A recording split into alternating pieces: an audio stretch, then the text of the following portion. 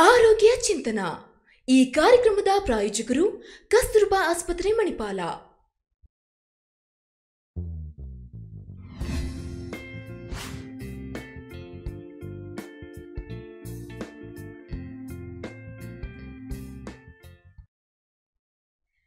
ನಮಸ್ಕಾರ ವೀಕ್ಷಕರೇ. ಕಸ್ತೂರ್ಬಾ ಆಸ್ಪತ್ರೆ ಮಣಿಪಾಲ್ ಅರ್ಪಿಸುವ ಆರೋಗ್ಯ ಚಿಂತನಾ ಕಾರ್ಯಕ್ರಮಕ್ಕೆ ತಮಗೆಲ್ಲರಿಗೂ ಕೂಡ ಪ್ರೀತಿಯ ಸ್ವಾಗತ. ಪ್ರತಿ ವಾರ ನಾವು ಆರೋಗ್ಯಕ್ಕೆ ಸಂಬಂಧಪಟ್ಟಂತಹ ಒಂದೊಂದು ವಿಚಾರಗಳ ಬಗ್ಗೆ ನಿಮ್ಮ ಮುಂದೆ ಮಾತಾಡ್ತಾ ಇದ್ದೇವೆ. ಅದೇ ರೀತಿ ಇವತ್ತಿನ ಸಂಚಿಕೆಯಲ್ಲಿ ನಾವು ಮಾತನಾಡ್ತಾ ಇರುವಂತಹ ವಿಚಾರ ಮಾತನಾಡುವಾಗ ಉಗ್ಗುವಿಕೆ. ಸೊ ಇದರ ಕುರಿತು ಮಾಹಿತಿಯನ್ನು ಇವತ್ತಿನ ಕಾರ್ಯಕ್ರಮದಲ್ಲಿ ನಿಮಗೆ ನೀಡ್ತಾ ಹೋಗ್ತೇವೆ. ಕೆಲವರಿಗೆ ಮಾತನಾಡುವಾಗ ಉಗ್ಗುವ ಸಮಸ್ಯೆ ಕಾಣಿಸಿಕೊಳ್ತದೆ. ಯಾವ ಕಾರಣದಿಂದ ಈ ಸಮಸ್ಯೆ ಕಾಣಿಸಿಕೊಳ್ತದೆ? ಹಾಗೆ ಇದಕ್ಕೆ ಇರುವಂತಹ ಪರಿಹಾರಗಳೇನು? ಇದರ ಬಗ್ಗೆ ಸಂಪೂರ್ಣವಾಗಿ ಮಾಹಿತಿಯನ್ನು ನೀಡೋದಕ್ಕೆ ಇವತ್ತಿನ ಕಾರ್ಯಕ್ರಮದಲ್ಲಿ ನಮ್ಮ ಜೊತೆ ಇದ್ದಾರೆ ಡಾಕ್ಟರ್ ರಾಕೇಶ್. ಇವರು ವಾಕ್ ಮತ್ತು ಶ್ರವಣ ವಿಭಾಗದ ಸಹಾಯಕ ಪ್ರಾಧ್ಯಾಪಕರು ಕಸ್ತೂರ್ಬಾ ಆಸ್ಪತ್ರೆ, ಮಣಿಪಾಲ. ಮೊದಲನೇದಾಗಿ ಡಾಕ್ಟರ್ನ ಇವತ್ತಿನ ಕಾರ್ಯಕ್ರಮಕ್ಕೆ ಸ್ವಾಗತಿಸ್ತಾ ಇದ್ದೇನೆ. ಡಾಕ್ಟರ್, ತಮಗೆ ಕಾರ್ಯಕ್ರಮಕ್ಕೆ ಸ್ವಾಗತ. ಥ್ಯಾಂಕ್ ಯು ಹಾಗೆ ವೀಕ್ಷಕರೇ ನಿಮಗೆ ಈ ವಿಷಯದಲ್ಲಿ ಏನೇ ಪ್ರಶ್ನೆಗಳಿದ್ರೂ ಕೂಡ ನಮಗೆ ಕರೆ ಮಾಡಬಹುದು ನಮ್ಮ ನಂಬರ್ ಟಿವಿ ಸ್ಕ್ರೀನ್ ಮೇಲೆ ಡಿಸ್ಪ್ಲೇ ಆಗ್ತಾ ಇದೆ. ಡಾಕ್ಟರ್ ಹೆಚ್ಚಾಗಿ ನಾವು ಕೇಳಿರ್ತೇವೆ ಇದರ ಬಗ್ಗೆ. ಕೆಲವರಿಗೆ ಮಾತನಾಡುವಾಗ ಈ ಸಮಸ್ಯೆ ಬರ್ತದೆ. ಸೊ ನನ್ನ ಮೊದಲನೇ ಪ್ರಶ್ನೆ ಡಾಕ್ಟರ್ ಯಾವ ಕಾರಣದಿಂದ ಈ ಉಗ್ಗುವಿಕೆ ಸಮಸ್ಯೆ ಕಾಣಿಸ್ಕೊಳ್ತದೆ? ಮಾತನಾಡುವಾಗ ಕೆಲವೊಮ್ಮೆ ನಾವು ಸುಲಲಿತವಾಗಿ ಮಾತು ಮಾತನಾಡುವ ತೊಂದರೆ ಜಾಸ್ತಿ ಇರ್ತದೆ. ಅವರಿಗೆ ನಾವು ಉಗ್ಗುವಿಕೆ, ಕನ್ನಡದಲ್ಲಿ ಉಗ್ಗುವಿಕೆ ಅಂತೀವಿ ಅಥವಾ ಇಂಗ್ಲೀಷ್ನಲ್ಲಿ ಸ್ಟಟ್ರಿಂಗ್ ಅಥವಾ ಸ್ಟ್ಯಾಮರಿಂಗ್ ಅಂತ ಹೇಳ್ತೀವಿ. ಈ ಉಗ್ಗುವಿಕೆ ಏನಾಗ್ತದೆ ಅಂತ ಹೇಳಿದ್ರೆ ಇವತ್ತಿನವರೆಗೂ ಇದು ಯಾಕೆ ಬರ್ತದೆ, ಇದ್ರ ಕಾರಣ ಎಕ್ಸಾಕ್ಟ್ ಆಗಿ ಏನು ಅಂತ ಸುಮಾರು ಒಂದು ಇನ್ನೂರು, ಇನ್ನೂರೈವತ್ತು ವರ್ಷದಿಂದ ಸಂಶೋಧನೆ ನಡೀತಾ ಇದ್ರೂ ಕೂಡ ಪಿನ್ ಪಾಯಿಂಟ್ ಆಗಿ ಇದರಿಂದನೇ ಇದು ಕಾರಣ ಆಗ್ತಾ ಇದೆ ಅಂತ ಹೇಳಲಿಕ್ಕೆ ಆಗೋದಿಲ್ಲ. ಆದರೆ ಕೆಲವೊಂದು ಒಂದು ಮಲ್ಟಿಫ್ಯಾಕ್ಟೋರಿಯಲ್ ಕಾಸಸ್ ಅಂತ ಹೇಳ್ತೀವಿ. ಮೂರು ನಾಲ್ಕು ಅಂಶಗಳಿಂದ ಸೇರಿ ಈ ತೊಂದರೆ ಬರಬಹುದು ಅಂತ ಹೇಳಿ ಸಂಶೋಧಕರು ಒಂದು ಗುರುತಿಸಿದ್ದಾರೆ. ಕೆಲವೊಂದು ವಂಶವಾಹಿನಿ ಆಗಿರ್ಬೋದು, ತಾತನಿಗಿತ್ತು, ತಂದೆಗಿತ್ತು, ಅಥವಾ ಅವ್ರಿಗೆ ಸೋದರ ಮಾವನಿಗಿತ್ತು, ಇವನಿಗೂ ಬಂದಿದೆ. ಅಣ್ಣನಿಗಿದ್ರೆ ತಮ್ಮನಿಗೆ ಬರೋದಾಗಿರ್ಬೋದು, ಅಥವಾ ಒಂದು ವಾತಾವರಣದಲ್ಲಿ ಅಕ್ಕಪಕ್ಕದ ಮನೆಯವರಾಗಿರ್ಬೋದು, ಅಥವಾ ಒಂದು ಫ್ರೆಂಡ್ಸ್ ಆಗಿರ್ಬೋದು, ಅದರಿಂದ ಏನಾದರೂ ಪ್ರಭಾವಿತನಾಗಿ ಬಂದಿರಲು ಬರ್ಬೋದು, ಅಥವಾ ಸ್ಪೀಚ್ ಮೋಟಾರ್ ಡಿಸಾರ್ಡರ್ ಅಂತ ಹೇಳ್ತೀವಿ. ಒಂದು, ಕೆಲವೊಂದು ಮಕ್ಕಳಲ್ಲಿ ಏನಾಗ್ತದೆ ಅಂತ ಕಲಿಕಾ ವಯಸ್ಸಿನಲ್ಲಿ ಈ ರೀತಿಯಾದತಕ್ಕಂಥ ಒಂದು ತೊಂದರೆಗಳು ಕಾಣ್ಬರ್ಬೋದು ಬಟ್ ಈ ಎಕ್ಸಾಕ್ಟ್ ಆಗಿ ಇದರಿಂದನೇ ಬರ್ತದೆ ಅಂತ ಹೇಳಲಿಕ್ಕೆ ಬರೋದಿಲ್ಲ. ಕೆಲವೊಂದು ಇತ್ತೀಚಿನ ಸಂಶೋಧನೆ ಹೇಳ್ತದೆ ಇದಕ್ಕೆ ಜೆನೆಟಿಕ್ ಫ್ಯಾಕ್ಟರ್ ಕೂಡ ಇದೆ. ಅನುವಂಶೀಯವಾಗಿಯೂ ಕೂಡ ಬರಬಹುದು ಅಂತ ಒಂದು ಸಂಶೋಧನೆ ಹೇಳ್ತಾ ಇದೆ. ಬಟ್ ಎಕ್ಸಾಕ್ಟ್ ಆಗಿ ಇದುವರೆಗೂ ಯಾರಿಗೂ ಕಾರಣ ಗೊತ್ತಿಲ್ಲ. ಬಟ್ ಇದಕ್ಕೆ ಟ್ರೀಟ್ಮೆಂಟ್ ಅಂತೂ ಬಹಳ ಚೆನ್ನಾಗಿ ಕಂಡುಕೊಂಡಿದ್ದೇವೆ. ಓಕೆ ಡಾಕ್ಟರ್ ಅಂದರೆ ಎಕ್ಸಾಕ್ಟ್ ಆಗಿ ಕಾರಣ ಗೊತ್ತಿಲ್ಲ ಅಂತ ಹೇಳಿದ್ರು ಡಾಕ್ಟರ್ ಏನಾದರೂ ರಿಸರ್ಚ್ ಏನಾದರೂ ನಡೀತಾ ಉಂಟೆ? ಸೊ ಇದರ ಬಗ್ಗೆ. ಹೇಳಿದ್ವಲ್ಲ ಈ ಇವತ್ತು ಕೂಡ ಸಂಶೋಧನೆ ನಡೀತಾನೆ ಇದೆ ಬಟ್ ಇವತ್ತವರೆಗೂ ಯಾರು ಕೂಡ ಈ ಒಂದು ಕಾರಣದಿಂದನೇ ಈ ಒಂದು ತೊಂದರೆ ಬರ್ತದೆ ಅಂತ ಇವತ್ತವರೆಗೂ ಯಾರಿಗೂ ಹೇಳಲಿಕ್ಕೆ ಆಗುದಿಲ್ಲ ಇದು. ಬಟ್ ಜೆನೆಟಿಕ್ ಆಗಿ ಬಹಳಷ್ಟು ಸಂಶೋಧನೆ ಅಡ್ವಾನ್ಸ್ ಆಗಿದ್ರೂ ಕೂಡ ಸ್ಟಿಲ್ ನಮ್ಗಿನ್ನೂ ಅದು ಕಾರಣ ಎಕ್ಸಾಕ್ಟ್ ಆಗಿ ಏನು ಅಂತ ಗೊತ್ತಿಲ್ಲ. ಕಂಡುಹಿಡಿಲಿಕ್ಕೆ ಕಂಡಿಡ್ಲಿಕ್ಕೆ ಆಗಿಲ್ಲ ಅದೇ ರೀತಿ ಈ ಉಗ್ಗುವಿಕೆಯ ಸಮಸ್ಯೆ ಅನ್ನೋದು ಬ್ಯಾಕ್ಟೀರಿಯಾ ಅಥವಾ ವೈರಸ್ ಅಥವಾ ಇನ್ಯಾವುದೊಂದು ಭೂತ ಶಕ್ತಿಗಳಿಂದ ಉಂಟಾಗ್ತಾ ಉಂಟಾ? ಇದು ನಮ್ಮ ಒಂದು ತಪ್ಪು ಕಾಲ್ಪನಿಕ. ಕೆಲವು ನಮ್ಮ ಒಂದು ಜನಸಾಮಾನ್ಯರಲ್ಲಿ ಏನಾಗ್ತದೆ ಅಂತ ಹೇಳಿದ್ರೆ ನಮ್ಗೆ ಯಾವುದಾದ್ರೂ ಒಂದು ಹೀಗೆ ಕಾರಣ ಗೊತ್ತಿಲ್ಲ ಅಥವಾ ಇದು ಯಾಕೆ ಆಗ್ತದೆ ಅಂತ ಇಲ್ದಾದಾಗ ನಾವು ಏನು ಹೇಳ್ಬಿಡ್ತೀವಿ? ಇದು ಭೂತಚೇಷ್ಟದಿಂದ ಆಗ್ತಾ ಇರ್ಬೋದು ಅಥವಾ ಒಂದು ಕಾಣದ ಶಕ್ತಿಯಿಂದ ಈ ರೀತಿ ಒಂದು ತೊಂದರೆ ಉಂಟಾಗ್ಬೋದು ಅಂತ ಹೇಳ್ತಾರೆ. ಇದು ಕೇವಲ ಒಂದು ಮಿತ್ ಅಂತ ಹೇಳ್ತೀವಿ. ಅಂದ್ರೆ ಅಸತ್ಯ ಇದು. ಇದಕ್ಕೂ ವಾಸ್ತವಕ್ಕೂ ಬಹಳಷ್ಟು ದೂರ ಇದೆ. ಯಾವುದೋ ಭೂತಚೇಷ್ಟೆಗಳಿಂದ ಆಗ್ಬೋದು ಅಥವಾ ದೇವರಿಂದ ದೆವ್ವದಿಂದ ಈ ಒಂದು ಕಾರಣ ಅಲ್ಲ. ಅಥವಾ ಒಂದು ಬ್ಯಾಕ್ಟೀರಿಯಾ ಇಂದ ಬರ್ತದ ಒಂದು ವೈರಸ್ ಇಂದ ಬರ್ತದ ಯಾವುದೋ ಒಂದು ಅಣು ವಂಶದಿಂದ ಏನಾದ್ರು ಬರ್ತದ ಅದು ಸಹ ಇಲ್ಲ. ಯಾವುದೇ ಬ್ಯಾಕ್ಟೀರಿಯಾ ವೈರಸ್ ಇಂದ ಉಗ್ಗುವಿಕೆ ಕಾರಣ ಅಲ್ಲ. Okay doctor. ಹಾಗೆ ಇದರ ಸಾಮಾನ್ಯ ಲಕ್ಷಣಗಳ ಬಗ್ಗೆ ನಾನು ಕೇಳುತ್ತಾದ್ರೆ ಹೇಗಿರ್ತದೆ ಲಕ್ಷಣಗಳು? ಇದರದ್ದು ಸಾಮಾನ್ಯ ಗುಣಲಕ್ಷಣಗಳು ಹೇಗೆ ಅಂತ ಹೇಳಿದ್ರೆ ಮಾತನಾಡುವಾಗ ಹಿಡಿಯುತ್ತೆ ಇಲ್ಲಾಂದರೆ ಪುನರುಚ್ಚರಿಸ್ತಾರೆ. ಅಥವಾ ಒಂದು ವಾಕ್ಸ್ತಂಭನ ತರ ನಿಂತು ಬಿಡುತ್ತೆ ಮಾತು. ಎಕ್ಸಾಂಪಲ್ ನಿಮ್ಗೆ ಕೊಡ್ಬೇಕಂತ ಹೇಳಿದ್ರೆ ಪದ ಕಾಗೆ ಅನ್ನೋ ಒಂದು ಪದ ತಗೊಳ್ಳಿ. ಪುನರುಚ್ಚಾರಣೆ ಅಂತ ಹೇಳಿದ್ರೆ ಏನು? ಕ- ಕ- ಕ- ಕ- ಕ- ಕ- ಕಾಗೆ. ಈ ರೀತಿ ಮೊದಲನೇ ಅಕ್ಷರನ ಬಹು ಭಾಗಶಃ ಸುಮಾರು ಒಂದು ತೊಂಬತ್ತು ಪರ್ಸೆಂಟು ವಾಕ್ಯದ ಮೊದಲಿನಲ್ಲಿ ಅಥವಾ ಪದದ ಮೊದಲಿನಲ್ಲೇ ಈ ತೊಂದರೆ ಕಾಣಿಸ್ಬರುತ್ತದೆ. ಸೊ ಪುನರುಚ್ಚಾರಣೆ ಅಂತ ಹೇಳಿದ್ರೆ ಕಾಗೆ ಅನ್ನೋ ಪದಕ್ಕೆ ಕಾಗೆ ಅಂತ ಹೇಳೋದು. ಅದೇ ರೀತಿ ನೆಕ್ಸ್ಟ್ ಯಾವುದು ಅಂತ ಹೇಳಿದ್ರೆ ಒಂದೊಮ್ಮೆ ಏನಾಗ್ತದೆ ಮಕ್ಕಳು ಎಳೆದು ಮಾತಾಡ್ತಾರೆ. ಸರಿನಾ? ಅವ ಹೇಗಾಗಿರ್ಬೋದು ಅಂತ ಹೇಳಿದ್ರೆ ಸೋಪ್ ಅನ್ನೋ ಒಂದು ವರ್ಡ್ ಎಕ್ಸಾಂಪಲ್ ತಗೊಂಡ್ರೆ. ಸೋಪ್ ಅಥವಾ ಸೂಪ್ಗೆ ಸೂಪ್, ಈ ರೀತಿ ಪ್ರೊಲಾಂಗೇಷನ್ ಅಂತ ಹೇಳ್ತೀವಿ. ಎಳೆದು ಮಾತನಾಡುವುದು, ಇಲ್ಲ ಅಂತ ಹೇಳಿದ್ರೆ ನಿಂತು ಬಿಡುತ್ತೆ. ಈಗ ಎಕ್ಸಾಂಪಲ್ ನಾವು ಹೇಗೆ ಹೇಳಬೇಕು ಅಂತ ಹೇಳಿದ್ರೆ, ಪಾಪು ಅನ್ನೋ ಪದ ತಗೊಂಡ್ರೆ, ಪಾಪು, ಈ ರೀತಿ ಇದನ್ನು ಬ್ಲಾಕ್ಸ್ ಅಂತ ಹೇಳ್ತೀವಿ. ನೀವು ನೋಡ್ಬೋದು ನನ್ನ ತುಟಿಗಳು, ತುಟಿಲಿ ಏನಾಗ್ತದೆ ಅಂತ ಹೇಳಿದ್ರೆ ಪ್ರೆಸ್ಟ್ ಎರಡೂ ತುಟಿಗಳನ್ನ ಒತ್ತಿ ಹಿಡಿದು ಆದಷ್ಟು ಅವನು ಪ್ರಯತ್ನ ಪಡ್ತದೆ ಮಗು, ಅದನ್ನು ಪಾಪು ಅಂತ ಹೇಳಲಿಕ್ಕೆ. ಬಟ್ ಏನಾಗ್ತದೆ ಅಂತ ಹೇಳಿದ್ರೆ ನಿಂತು ಬಿಡುತ್ತೆ, ಅಥವಾ ಸ್ಟಕ್ ಆಗಿಬಿಡುತ್ತೆ ಅಂತ ಹೇಳ್ಬೋದು. ಪಾಪು, ಈ ರೀತಿ. ಈ ಒಂದು ಮೂರು ಗುಣಲಕ್ಷಣಗಳು ಬಹಳಷ್ಟು ಏನಿರ್ತವೆ ಪ್ರಾಮುಖ್ಯತೆಯನ್ನು ಹೊಂದಿದೆ. ಈ ಮೂರಲ್ಲಿ ಯಾವ್ದಾದ್ರು ಒಂದಿದ್ರು ಕೂಡ ನಾವು ಉಗ್ಗುವಿಕೆ ಅಂತ ಹೇಳ್ತೀವಿ. ಇಂಗ್ಲಿಷ್ನಲ್ಲಿ ಕೋರ್ ಬಿಹೇವಿಯರ್ಸ್.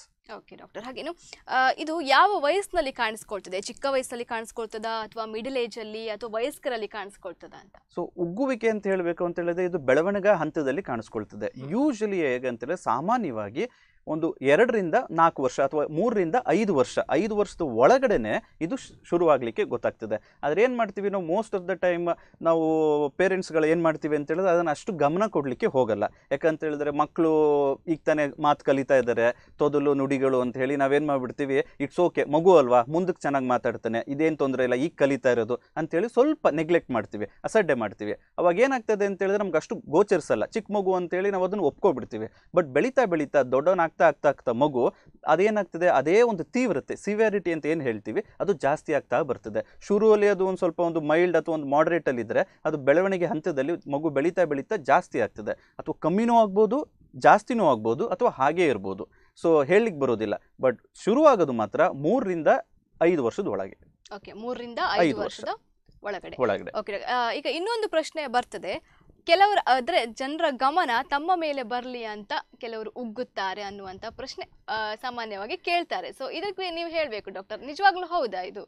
ಇಲ್ಲ ಇಲ್ಲ. ಇದು ಆ್ಯಕ್ಚುಲಿ ಏನಾಗ್ತದೆ ಅಂತ ಹೇಳಿದ್ರೆ ಕೆಲವೊಂದು ಜನ ಅನ್ಕೊಂಡಿರ್ತಾರೆ ಮಕ್ಕಳು ಏನಂತ ಹೇಳಿ ಇವನು ಅಟೆನ್ಷನ್ ತಗೊಳ್ಳಿಕ್ಕೋಸ್ಕರ ಅಥವಾ ಎಲ್ಲರೂ ನನ್ನನ್ನು ನೋಡಲಿ ಅಥವಾ ಎಲ್ಲರೂ ನನ್ನ ಕಡೆನೇ ತಿರುಗಲಿ ಅಂತ ಒಂದು ಕಾರಣಕ್ಕೋಸ್ಕರ ಒಬ್ಬೊಬ್ಬರು ಬೇಕಂತ ಉಗ್ಗುತ್ತಾರ ಅಂತ. ಇನ್ನೊಂದು ಗುಣಲಕ್ಷಣ ಏನಂತ ಹೇಳಿದ್ರೆ ಇದ್ರದ್ದು ಈ ತೊಂದರೆ ಯಾವಾಗಲೂ ಕೂಡ ಬೇಕು ಅಂತ ಅಥವಾ ವಾಲಂಟರಿಲಿ ಯಾವ ಮಕ್ಕಳು ಕೂಡ ಮಾಡೋದಿಲ್ಲ. This is an involuntary process ಮಗುವಿಗೆ ಅರಿವಿಲ್ದೇ ಮಗು ಉಗ್ಗುತ್ತೆ ಹೊರತು ಬೇಕು ಅಂತ ಯಾವ ಮಗುನೂ ಕೂಡ ಉಗ್ಗುವುದಿಲ್ಲ. ಇದು ಏನು ಹೇಳ್ತದೆ ಅಂತ ಹೇಳಿದ್ರೆ ಮೋಸ್ಟ್ ಆಫ್ ದ ಟೈಮ್ ಯಾಕೆ ಈ ಥರ ಒಂದು ಪ್ರಾಬ್ಲಮ್ ಬರ್ತದೆ ಅಂದರೆ ಬೆಳಗ್ಗೆ ಹೊತ್ತು ಅಥವಾ ಜಾಸ್ತಿ ಉಗ್ಗುತ್ತಾ ಇರ್ಬೋದು ಅಥವಾ ಇವತ್ತು ಕಮ್ಮಿ ಇದ್ದು ನಾಳೆ ಜಾಸ್ತಿ ಆಗ್ಬೋದು ಅಥವಾ ಅದೊಂದು ಫ್ಲಕ್ಚುಯೇಷನ್ ತುಂಬ ಇರ್ತದೆ. ದಿನದಿಂದ ದಿನಕ್ಕೆ ತೀವ್ರತೆ ಹಾಗೇ ಇರುವುದಿಲ್ಲ. ಸೊ ಅವಾಗ ಏನು ಅನ್ಕೊಂತಾರೆ ಕೆಲವೊಬ್ರು ಓ ಇವನು ಬೇಕಂತ ಮಾಡ್ತಾ ಇದ್ದಾನೆ ಇವನು ನಮ್ಮ ಗಮನ ಸೆಳೀಲಿಕ್ಕೆ ಮಾಡ್ತಾ ಇದ್ದಾನೆ ಅನ್ನೋ ಒಂದು ಅಭಿಪ್ರಾಯ ಮೂಡುತ್ತೆ. ಬಟ್ ಇದು ಬಹಳ ಸುಳ್ಳು. Okay, ಇದು ಬೇಕಂತ ಮಾಡಿ ಯಾವ ಮಗುನೂ ಕೂಡ ಬೇಕಂತ ಉಗ್ಗುವಿಕೆನ ಮಾಡುವುದಿಲ್ಲ. ಓಕೆ ಡಾಕ್ಟರ್ ಒಬ್ರು ಕಾಲರ್ ಇದ್ದಾರೆ ಅವ್ರ ಜೊತೆ ಮಾತಾಡೋಣ. ಹಲೋ ಹಲೋ ನಮಸ್ತೆ ತಮ್ಮ ಹೆಸರು ಎಲ್ಲಿಂದ ಕರೆ ಮಾಡ್ತಿದ್ದೀರಾ ನಾನು ಗುಮ್ಮಿಯಿಂದ ನಾಗೇಶ್ ಮಾಸ್ಟರ್ ಅಂತೇಳಿ ಮಾತಾಡೋದು ಓಕೆ ಹೇಳಿ. ಕೇಳಿಸ್ತಾ ಇದೆ ಗುಂಡ್ಮಿಯಿಂದ ಕರೆ ಮಾಡ್ತಾ ಇದ್ದೀರಾ? ನಾಗೇಶ್ ಮಾಸ್ಟರ್ ಅಂತೇಳಿ ಓಕೆ ಓಕೆ ಸರ್ ತಮ್ಮ ಪ್ರಶ್ನೆಯನ್ನ ಕೇಳಿ. ರಾಕೇಶ್ ಅವ್ರ ಹತ್ರ ಮಾತಾಡ್ಲಿಕ್ಕಿದೆ. ಖಂಡಿತ ಸರ್ ಪ್ರಶ್ನೆ ಕೇಳಿ. ಎಂತ ಅಂತ ಹೇಳಿದ್ರೆ ಶಾಲೆಯಲ್ಲಿ ಮಕ್ಕಳು ಬೇರೆ ಸಮಯದಲ್ಲಿ ಒಳ್ಳೆ ರೀತಿಯಲ್ಲಿ ಮಾತಾಡ್ತಾರೆ ಅವ್ರ ಫ್ರೆಂಡ್ಸ್ ಜೊತೆಗೆಲ್ಲ. ಹಾ ಕೇಳಿಸ್ತಾ ಇದೆ ಕೇಳಿಸ್ತಾ ಇದೆ ಸರ್. ಮಾತಾಡ್ತಾರೆ ನಾವು ಈಗ ಪಾಠ ಓದಿಸುವಾಗ ಮಾತ್ರ ಉಗ್ಗಿರ್ತಾರೆ ಯಾಕೆ ಅಂತ. ಓಕೆ ಓಕೆ ಸರ್ ತಮ್ಮ ಪ್ರಶ್ನೆಗೆ ಉತ್ತರವನ್ನ ಕೊಡ್ತಾರೆ ಕೇಳಿಸ್ಕೊಳ್ಳಿ. ಸರ್ ನಮಸ್ತೆ ಸರ್. ರಾಕೇಶ್ ಮಾತಾಡ್ತಾ ಇರೋದು. ಬಹಳಷ್ಟು ಖುಷಿ ಆಯಿತು ಹೆಡ್ ಮಾಸ್ಟರ್ ಆಗಿ ಇದನ್ನ ನೀವು ಕಂಡುಹಿಡಿದಿರೋದು. ಸರ್ ನೀವು ಹೇಳ್ತಾ ಇರೋ ಹಾಗೇನೆ ಹೌದು ಒಪ್ಕೊಂತೀವಿ. ಫ್ರೆಂಡ್ಸ್ ಜೊತೆ ಮಾತನಾಡುವಾಗ ಏನಾಗ್ತದೆ ಅಂತ ಹೇಳಿದರೆ ಅವರು ಸ್ನೇಹಿತರು ಅವ್ರಿಗೊಂದು ಸಲಿಗೆ ಬೆಳವಣಿಗೆ ಆಗಿರ್ತದೆ. ಮತ್ತು ಅವರು ಮುಚ್ಚಿಡ್ಲಿಕ್ಕೆ ಹೋಗುದಿಲ್ಲ. ನನಗೆ ಉಗ್ಗುವಿಕೆ ಇದೆ ಅನ್ನೋದು, ಯಾಕಂದರೆ ಗೆಳೆತನದಲ್ಲಿ ಏನಾಗ್ತದೆ ಅಂತ ಹೇಳಿದ್ರೆ ಸದಾ ನಮ್ಮನ್ನು ನೋಡೋದ್ರಿಂದ ಅವ್ರಿಗೂ ಒಂದಲ್ಲ ಒಂದಿನ ನನಗೆ ಉಗ್ಗುವಿಕೆ ಇರೋದು ಅವ್ರಿಗೆ ಗೊತ್ತಿರ್ತದೆ. ಸೊ ಆ ಒಂದು ಸಲಿಗೆ ಇದ್ದಾಗ ಮತ್ತು ಅವ್ರಿಗೆ ನಾವು ಮುಚ್ಚಿಡೋ ಯಾವುದೇ ತಕ್ಕಂಥ ಅವಶ್ಯಕತೆ ಇರುವುದಿಲ್ಲ. ಅವಾಗ ಏನಾಗ್ತದೆ? ಓಪನ್ ಆಗಿ ಅಥವಾ ಮುಕ್ತವಾಗಿ ಮಾತಾಡ್ಲಿಕ್ಕೆ ಶುರು ಮಾಡ್ತಾರೆ ಮಕ್ಕಳು ಫ್ರೆಂಡ್ಸ್ ಜೊತೆ ಇದ್ದಾಗ. ಅದೇ ಒಂದು ಹೆಚ್ ಎಂ ಜೊತೆ ಮಾತನಾಡುವಾಗ ಅಥವಾ ಟೀಚರ್ ಜೊತೆ ಮಾತನಾಡುವಾಗ ಅಥವಾ ಕ್ಲಾಸಲ್ಲಿ ನೀವು ಹೇಳ್ದಾಗೆ ಎದ್ದಿದ್ಕೊಂಡು ಪುಸ್ತಕ ಓದು ಅನ್ನುವಾಗ ಎಲ್ಲರ ಗಮನ ಅವನ ಮೇಲೆ ಇರ್ತದೆ. ಅವ ಏನು ಯೋಚನೆ ಮಾಡ್ತಿರ್ತಾನೆ? ಎಲ್ಲರೂ ನನ್ನೇ ನೋಡ್ತಾ ಇದ್ದಾರೆ ನಾನು ಉಗ್ಗಬಾರ್ದು ನಾನು ಮಾತನಾಡುವಾಗ ಸ್ಟಟ್ರಿಂಗ್ ಬರಬಾರ್ದು ಅಂತ ಅವನು ಎಷ್ಟು ಯೋಚನೆ ಮಾಡ್ತಾನೋ ಅದು ಮತ್ತೆ ಅದು ಸ್ಟಟರ್ ಮಾಡದೇ ಮಾಡ್ತಾನೆ. ಅವನು ಉಗ್ಗದೇ ಉಗ್ಗುತ್ತಾನೆ ಸೊ ಅದು ಅವನು ಬೇಕು ಅಂತ ಮಾಡ್ತಾ ಇರೋದಲ್ಲ ಇದು. ಮತ್ತು ನೀವೇ ನೋಡ್ಬೋದು, ಈಗ ನಾವು ನಾರ್ಮಲ್ ಆಗಿ ಇಷ್ಟು ಇವಾಗ ಎಕ್ಸಾಂಪಲ್ ಸುಲಲಿತವಾಗಿ ಮಾತಾಡ್ತಾ ಇದ್ದೀನಿ. ಅದೇ ಈಗ ನಾನೇನಾದರೂ ಆಕ್ಸಿಡೆಂಟ್ ಆದಾಗ ಅಥವಾ ನಾನು ಏನಾದ್ರು ತಪ್ಪು ಮಾಡಿ ಸಿಕ್ಕಾಕೊಂಡಾಗ ಅಥವಾ ಒಂದು ಪೊಲೀಸು ನನ್ನ ಹಿಡ್ಕೊಂಡಾಗ ಚಲನ್ಗೆ ಏನಾದ್ರು ಕೊಟ್ಟಾಗ ಹೆಲ್ಮೆಟ್ ಇಲ್ಲ ಅಂತ ಹೇಳಿದಾಗ ಸೊ ನನಗೂ ಮಾತನಾಡುವಾಗ ಕೆಲವೊಮ್ಮೆ ಡಿಸ್ಫ್ಲೂಯೆನ್ಸಿ ಅಥವಾ ಒಂದು ಸುಲಲಿತವಾಗಿ ಮಾತಾಡ್ಲಿಕ್ಕೆ ಆಗೋದಿಲ್ಲ ಕೆಲವೊಂದು ಸಂದರ್ಭಗಳಲ್ಲಿ. ಸೊ ಅದೊಂದು ನಾರ್ಮಲ್ ಇರೋರಿಗೆ ಇರ್ತದೆ ಅಂಥದ್ರಲ್ಲಿ. ಉಗ್ಗುವಿಕೆ ಇರೋರಿಗೆ. ತಕ್ಷಣ ನೀವೆಲ್ಲರ ಮುಂದೆ ಓದು ಅಂತ ಹೇಳಿದಾಗ ಅದು ತೊಂದರೆ, ಉಲ್ಬಣ ಆಗ್ತದೆ. ಅಥವಾ ಅವರಿಗೆ ನೀವು ಮೈಕ್ ಕೊಟ್ಟು ಸ್ಟೇಜ್ ಮೇಲೆ ಮಾತಾಡು ಅಂತ ಹೇಳಿದಾಗ ಇನ್ನೂ ಜಾಸ್ತಿ ತೊಂದರೆ ಆಗ್ತದೆ. ಅದೇ ಅಪ್ಪ ಅಮ್ಮನೊಟ್ಟಿಗೆ ಮಾತನಾಡುವಾಗ ಕಮ್ಮಿ, ಬಹಳಷ್ಟು ತೀವ್ರತೆ ಕಮ್ಮಿ ಇರ್ತದೆ. ಇದು ಅದರ ಒಂದು ಗುಣಲಕ್ಷಣ. ಓಕೆ ಡಾಕ್ಟರ್ ಹಾಗೆ ಇನ್ನೊಬ್ರು ಕಾಲರ್ ಇದ್ದಾರೆ. ಹಲೋ ನಾನು ಹೇಳಿ ನಮ್ದು ಅದು ಹೇಳಿದ್ರು ಅದು ಏ ಕೃಷ್ಣ ಶೆಟ್ಟಿ ಹೇಳಿ ಹೇಳಿದ್ರು ಧ್ವನಿಪೆಟ್ಟಿಗೆ ಓಕೆ ಸರ್ ತಮ್ಮ ಪ್ರಶ್ನೆಯನ್ನ ಕೇಳಿ ನಮ್ದು ಧ್ವನಿಪೆಟ್ಟಿಗೆ ತೊಂದರೆಯಿಂದ ತೊದಲಿಕ್ಕೆ ಬರ್ಲಿಕ್ಕೆ ಸಾಧ್ಯ ಉಂಟಲ್ಲ ಉಗ್ಗುವಿಕೆ ತೊದಲಿಕ್ಕೆ ಓಕೆ ಧ್ವನಿ ಪೆಟ್ಟಿಗೆ ಸಮಸ್ಯೆಯಿಂದ ಉಗ್ಗುವಿಕೆ ಅಥವಾ ತೊದಲುವಿಕೆ ಸಮಸ್ಯೆ ಬರ್ತದಾ ಅಂತ ಕೇಳ್ತಾ ಇದ್ದೀರಾ? ಓಕೆ ಸರ್ ಧ್ವನಿ ಪೆಟ್ಟಿಗೆ ಸಮಸ್ಯೆಯಿಂದ ಧ್ವನಿ ಪೆಟ್ಟಿಗೆಯಲ್ಲಿ ಏನಾದರೂ ಒಂದು ಸಮಸ್ಯೆ ಬಂದರೆ ಅದನ್ನು ವಾಯ್ಸ್ ಡಿಸಾರ್ಡರ್ ಅಂತ ಹೇಳ್ತೀವಿ, ಅಥವಾ ಧ್ವನಿಗೆ ಸಂಬಂಧಪಟ್ಟ ತೊಂದರೆಗಳು. ಅದಕ್ಕೂ ಧ್ವನಿ ಪೆಟ್ಟಿಗೆಗೂ ಅಥವಾ ಉಗ್ಗುವಿಕೆಗೂ ಯಾವುದೇ ತಕ್ಕಂಥ ನೇರ ಸಂಬಂಧ ಇಲ್ಲ. ನಾವು ಮಾತಾಡ್ತಾ ಇರೋದು ಡೆವಲಪ್ಮೆಂಟಲ್ ಸ್ಟಟ್ರಿಂಗ್ ಅಂತ ಹೇಳ್ತೀವಿ. ಬೆಳವಣಿಗೆ ಹಂತದಲ್ಲಿ ಬರುವತಕ್ಕಂಥ ಉಗ್ಗುವಿಕೆ ಇದಕ್ಕೂ ಧ್ವನಿ ಪೆಟ್ಟಿಗೆಗೂ ಯಾವುದೇ ರೀತಿ ಸಂಬಂಧ ಇರುವುದಿಲ್ಲ. ಧ್ವನಿ ಇಲ್ಲಿಂದ ಹೊರಹೊಮ್ಮುತ್ತೆ. ಲ್ಯಾರಿಂಗ್ಸ್ ಅಂತ ಹೇಳ್ತೀವಿ, ಅಥವಾ ಧ್ವನಿ ಪೆಟ್ಟಿಗೆಯಿಂದ ಆಚೆ ಬಂದು ನಂತರ ನಾಲ್ಗೆ ಹತ್ರನೋ ಅಥವಾ ತುಟಿ ಹತ್ರನೋ ಅಲ್ಲಿ ಹಿಡಿಲಿಕ್ಕೆ ಶುರು ಮಾಡ್ತದೆ. ಇದು ಬಹಳಷ್ಟು ಕಾಂಪ್ಲೆಕ್ಸ್ ಮೆಕ್ಯಾನಿಸಮ್ ಇದು. ಸ್ಪೀಚ್ ಮೋಟಾರ್ ಸಿಸ್ಟಮ್ ಅಂತ ಹೇಳ್ತೀವಿ. ಸೊ ಒಂದು ಸೀಕ್ವೆನ್ಸಿಂಗ್ ಇಂದ ಆಗಿರ್ಬೋದು ಮೆದುಳಿಂದ ಒಂದು ನರದು, ನರಗಳ ಮೂಲಕ ಏನಾಗ್ತದೆ ಅಂತ ಚಲನವಲನಗಳಿಗೆ ಹೇಳ್ತದೆ. ಒಂದು ಚಿಹ್ನೆ ಸನ್ನೆಗಳನ್ನ ಕಳಿಸ್ತದೆ. ಸೊ ಆ ಒಂದು ಇದರಲ್ಲಿ ಕಾಂಪ್ಲೆಕ್ಸ್ ಇಂದ ಆಗ್ತದೆ ಹೊರತು ಧ್ವನಿ ಪೆಟ್ಟಿಗೆಗೂ, ಉಗ್ಗುವಿಕೆಗೂ ನೇರ ಸಂಬಂಧ ಇರುವುದಿಲ್ಲ. ಓಕೆ ಡಾಕ್ಟರ್, ಈಗ ಒಬ್ಬರು ಟೀಚರ್ ಕಾಲ್ ಮಾಡಿದ್ರು, ಅವ್ರು ಹೇಳ್ತಾರೆ ಅಂದರೆ ಸ್ಕೂಲಲ್ಲಿ ಫ್ರೆಂಡ್ಸ್ ಜೊತೆ ಮಾತಾಡುವಾಗ ಸರಿ ಇರ್ತಾರೆ ನಾವೇನಾದರೂ ಓದಲಿಕ್ಕೆ ಹೇಳುವಾಗ ಈ ಸಮಸ್ಯೆ ಬರ್ತದೆ ಅಂತೇಳಿ. ಸೊ ಇಂಥದ್ದೇನಾದ್ರೂ ಬೇರೆ ಬೇರೆ ಸಂದರ್ಭಗಳಲ್ಲೂ ಕೂಡ ಬರ್ತದೆ. ಸೊ ಯಾವ್ಯಾವ ಸಂದರ್ಭಗಳಲ್ಲಿ ಈ ಸಮಸ್ಯೆ ಬರ್ತದೆ ಅನ್ನುವಂಥದ್ದು ಹೇಳಿ ಹೇಳ್ಬೋದು? That's a very good question ಏನಾಗ್ತದೆ ಅಂತ ಹೇಳಿದ್ರೆ ದೊಡ್ಡವರಾದ ಮೇಲೆ ಏನಾಗ್ತದೆ ಅಂತ ಹೇಳಿದ್ರೆ, ನಮ್ಮ ಒಂದು ಸೇಮ್ ಜೆಂಡರ್ ಅಥವಾ ಒಂದು ಗಂಡು ಮಗು ಇನ್ನೊಂದು ಗಂಡು ಮಗು ಜೊತೆ ಮಾತನಾಡುವಾಗ ಅಷ್ಟು ತೊಂದರೆ ಕಾಣಿಸ್ ಬರಲ್ಲ. ಅದೇ ಒಂದು ಗಂಡು ಮಗು ಒಂದು ಹದಿನೇಳು ವರ್ಷದವನು, ಹದಿನೆಂಟು ವರ್ಷದವನು, ಇನ್ನೊಂದು ಹೆಣ್ಮಕ್ಳ ಜೊತೆ ಮಾತನಾಡುವಾಗ ಏನಾಗ್ತದೆ ಅಂತ ಹೇಳಿದ್ರೆ ಆ ಒಂದು ನಾಚಿಕೆ, ಸಂಕೋಚ, ಆ ಒಂದು ಭಾವನೆಗಳ ಒಂದು ಮಿಕ್ಸ್ಡ್ ಫೀಲಿಂಗ್ಸ್ ಅಂತ ಏನು ಹೇಳ್ತೀವಿ? ಆ ನಾಚಿಕೆ, ಸಂಕೋಚ, ಅಂಜಿಕೆ ಇವೆಲ್ಲ ಕೂಡಿರೋದ್ರಿಂದ ಇನ್ನೊಂದು ಹೆಣ್ಮಗಳ ಜೊತೆ ಮಾತನಾಡುವಾಗ ಕ್ಲಾಸ್ಮೇಟ್ ಆಗಿರ್ಬೋದು ಅಥವಾ ಪಕ್ಕದ ಮನೆಯವರಾಗಿರ್ಬೋದು ಆಗ ತೊಂದರೆ ಜಾಸ್ತಿ ಆಗ್ತದೆ. ಅದೇ ಕ್ಲಾಸ್ಮೇಟ್ ಹುಡುಗನ ಜೊತೆ ಮಾತನಾಡುವಾಗ ಅಷ್ಟು ತೊಂದರೆ ಬರಲಿಕ್ಕಿಲ್ಲ. ಅದೇ ಆಪೋಸಿಟ್ ಜೆಂಡರ್ ಬೇರೆ ಹುಡುಗಿ ಜೊತೆ ಮಾತನಾಡುವಾಗ ತೊಂದರೆ ಜಾಸ್ತಿ ಬರ್ತದೆ. ಹಾಗಂತ ಅಕ್ಕನ ಜೊತೆ ಮಾತಾಡುವಾಗ ಬರುವುದಿಲ್ಲ. ಯಾಕಂದ್ರೆ ಅವಳು ಸದಾ ಮನೇಲಿ ಇರ್ತಾಳೆ, ಅವಳಿಗೆ ಆಲ್ರೆಡಿ ತೊಂದರೆ ಇರೋದು ಗೊತ್ತಿರ್ತದೆ. ಅಕ್ಕನ ಜೊತೆನೋ, ತಂಗಿ ಜೊತೆನೋ, ಅಮ್ಮನ ಜೊತೆನೋ ಅಷ್ಟು ತೀವ್ರತೆ ಇರುವುದಿಲ್ಲ. ಅದೇ ಒಂದು ಹೊಸ ಹುಡುಗಿ ಅಥವಾ ಅಪರಿಚಿತರು ಜಾಸ್ತಿ ಅಂತ ಹೇಳಿದ್ರೆ ಸ್ಟ್ರೇಂಜರ್ಸ್ ಯಾರು ಅಪರಿಚಿತರು ಒಡನೆ ಮಾತನಾಡುವಾಗ ತೊಂದರೆ ಉಲ್ಬಣ ಆಗ್ತದೆ. ಹಾಗೆ ಡಾಕ್ಟರ್ ಭಯ ಉಂಟಾದಾಗ್ಲೂ ಕೂಡ ಈ ಸಮಸ್ಯೆ ಭಯ ಉಂಟಾದಾಗ್ಲೂ ಕೂಡ ಜಾಸ್ತಿ ಆಗ್ತದೆ. ಯಾಕಂದ್ರೆ ನಾರ್ಮಲ್ ಆಗಿ ನಾವೇ ಏನಾದ್ರು ಹೆದರಿಕೆ ಬಿದ್ದಾಗ ಭಯ ಬಿದ್ದಾಗ ನಮ್ಮ ಒಂದು ಸುಲಲಿತ ಮಾತಿಗೆ ಬ್ರೇಕ್ ಡೌನ್ ಆಗ್ತದೆ. ನಾವು ಒಂದು ಸ್ವಲ್ಪ ಹಿಂದು ಮುಂದೆ ತೊದಲ್ತೀವಿ. ಅಂಥದ್ರಲ್ಲಿ ತೊಂದರೆ ಆಲ್ರೆಡಿ ಇದೆ ಅವರಿಗೆ. ಇರೋರಿಗೆ ಜಾಸ್ತಿ ಭಯ ಒಂದು ವಾತಾವರಣ ಭಯದ ವಾತಾವರಣ ಇದ್ದಾಗ ಅಥವಾ ಹೆದರ್ಕೊಂಡಾಗ ಉಲ್ಬಣ ಆಗ್ತದೆ ತೊಂದರೆ. ಓಕೆ ಡಾಕ್ಟರ್ ಹಾಗೇನು ಈ ಉಗ್ಗುವಿಕೆಯ ಸಮಸ್ಯೆ ಎಲ್ಲ ವರ್ಗದ ಜನರಲ್ಲೂ ಕಂಡು ಬರ್ತದೆ. ಈಗ ಗಂಡು ಮಕ್ಕಳಾಗಿರ್ಬೋದು ಹೆಣ್ಮಕ್ಳಾಗಿರ್ಬೋದು ಮಕ್ಕಳಾಗಿರ್ಬೋದು ವಯಸ್ಕರಾಗಿರ್ಬೋದು ಎಲ್ಲ ವರ್ಗದ ಜನರಲ್ಲಿ ಕಂಡು ಬರ್ತದ. ಇದಕ್ಕೆ ಯಾವುದೇ ತಕ್ಕಂಥ ವರ್ಗದ ಭೇದ ಭಾವ ಇಲ್ಲ ಎಲ್ಲ ವರ್ಗದಲ್ಲೂ ಕೂಡ ಉಗ್ಗುವಿಕೆ ಕಂಡು ಬರ್ತದೆ. ಯೂಶಲಿ ಏನಾಗ್ತದೆ ಅಂತ ಹೇಳಿದ್ರೆ ಗಂಡು ಮಕ್ಕಳಲ್ಲಿ ಜಾಸ್ತಿ ಕಂಡು ಬರ್ತದೆ ಹೆಣ್ಣು ಮಕ್ಕಳಿಗೆ ಹೋಲಿಸಿದ್ರೆ.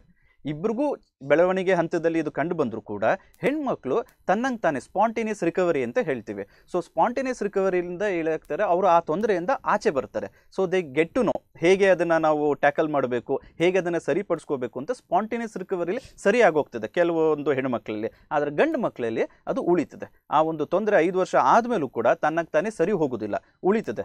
ಸೊ ಅವಾಗ ಏನಾಗ್ತದೆ ಅಂದ್ರೆ ಸ್ವಲ್ಪ ಇದ್ದಿದ್ರಲ್ಲಿ ಗಂಡು ಮಕ್ಕಳಲ್ಲಿ ಜಾಸ್ತಿ ಕಾಣಿಸ್ಬರ್ತದೆ ಹೆಣ್ಮಕ್ಳಿಗಿಂತ. ಮತ್ತು ವರ್ಗಗಳಲ್ಲಿ ಬಡವರಾಗಿರ್ಬೋದು ಶ್ರೀಮಂತರಾಗಿರ್ಬೋದು ಅಥವಾ ಹಳ್ಳಿ ಇರೋ ಜನ ಆಗಿರ್ಬೋದು ಸಿಟಿಲಿರೋ ಜನ ಆಗಿರ್ಬೋದು ಯಾವುದೇ ಭೇದ ಭಾವ ಇಲ್ಲ.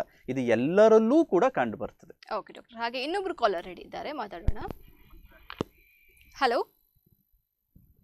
ಹಲೋ ಹಲೋ ನಮಸ್ತೆ ತಮ್ಮ ಹೆಸರು ಎಲ್ಲಿಂದ ಕರೆ ಮಾಡ್ತಿದ್ದೀರಾ? ನನ್ನ ಹೆಸರು ಸ್ಮಿತಾ ಅಂತ. ಓಕೆ ಮೇಡಮ್ ನಂಗೆ ಡೌಟ್ ಕೇಳಲಿಕ್ಕಿತ್ತು. ಡಾಕ್ಟರ್ ಇದ್ದಾರಾ? ಖಂಡಿತ ಮೇಡಮ್ ಕೇಳಿ. ಓಕೆ ಅದೇ ನಂದು ಫ್ರೆಂಡಿದು ಮಗು ಸಣ್ಣದಿರುವಾಗ ಏನ್ ತೊದಲ್ತಾ ಇಲ್ಲ ಏನ್ ಇರ್ಲಿಲ್ಲ ನಾರ್ಮಲ್ ಆಗಿತ್ತು. ಹ್ಮ್.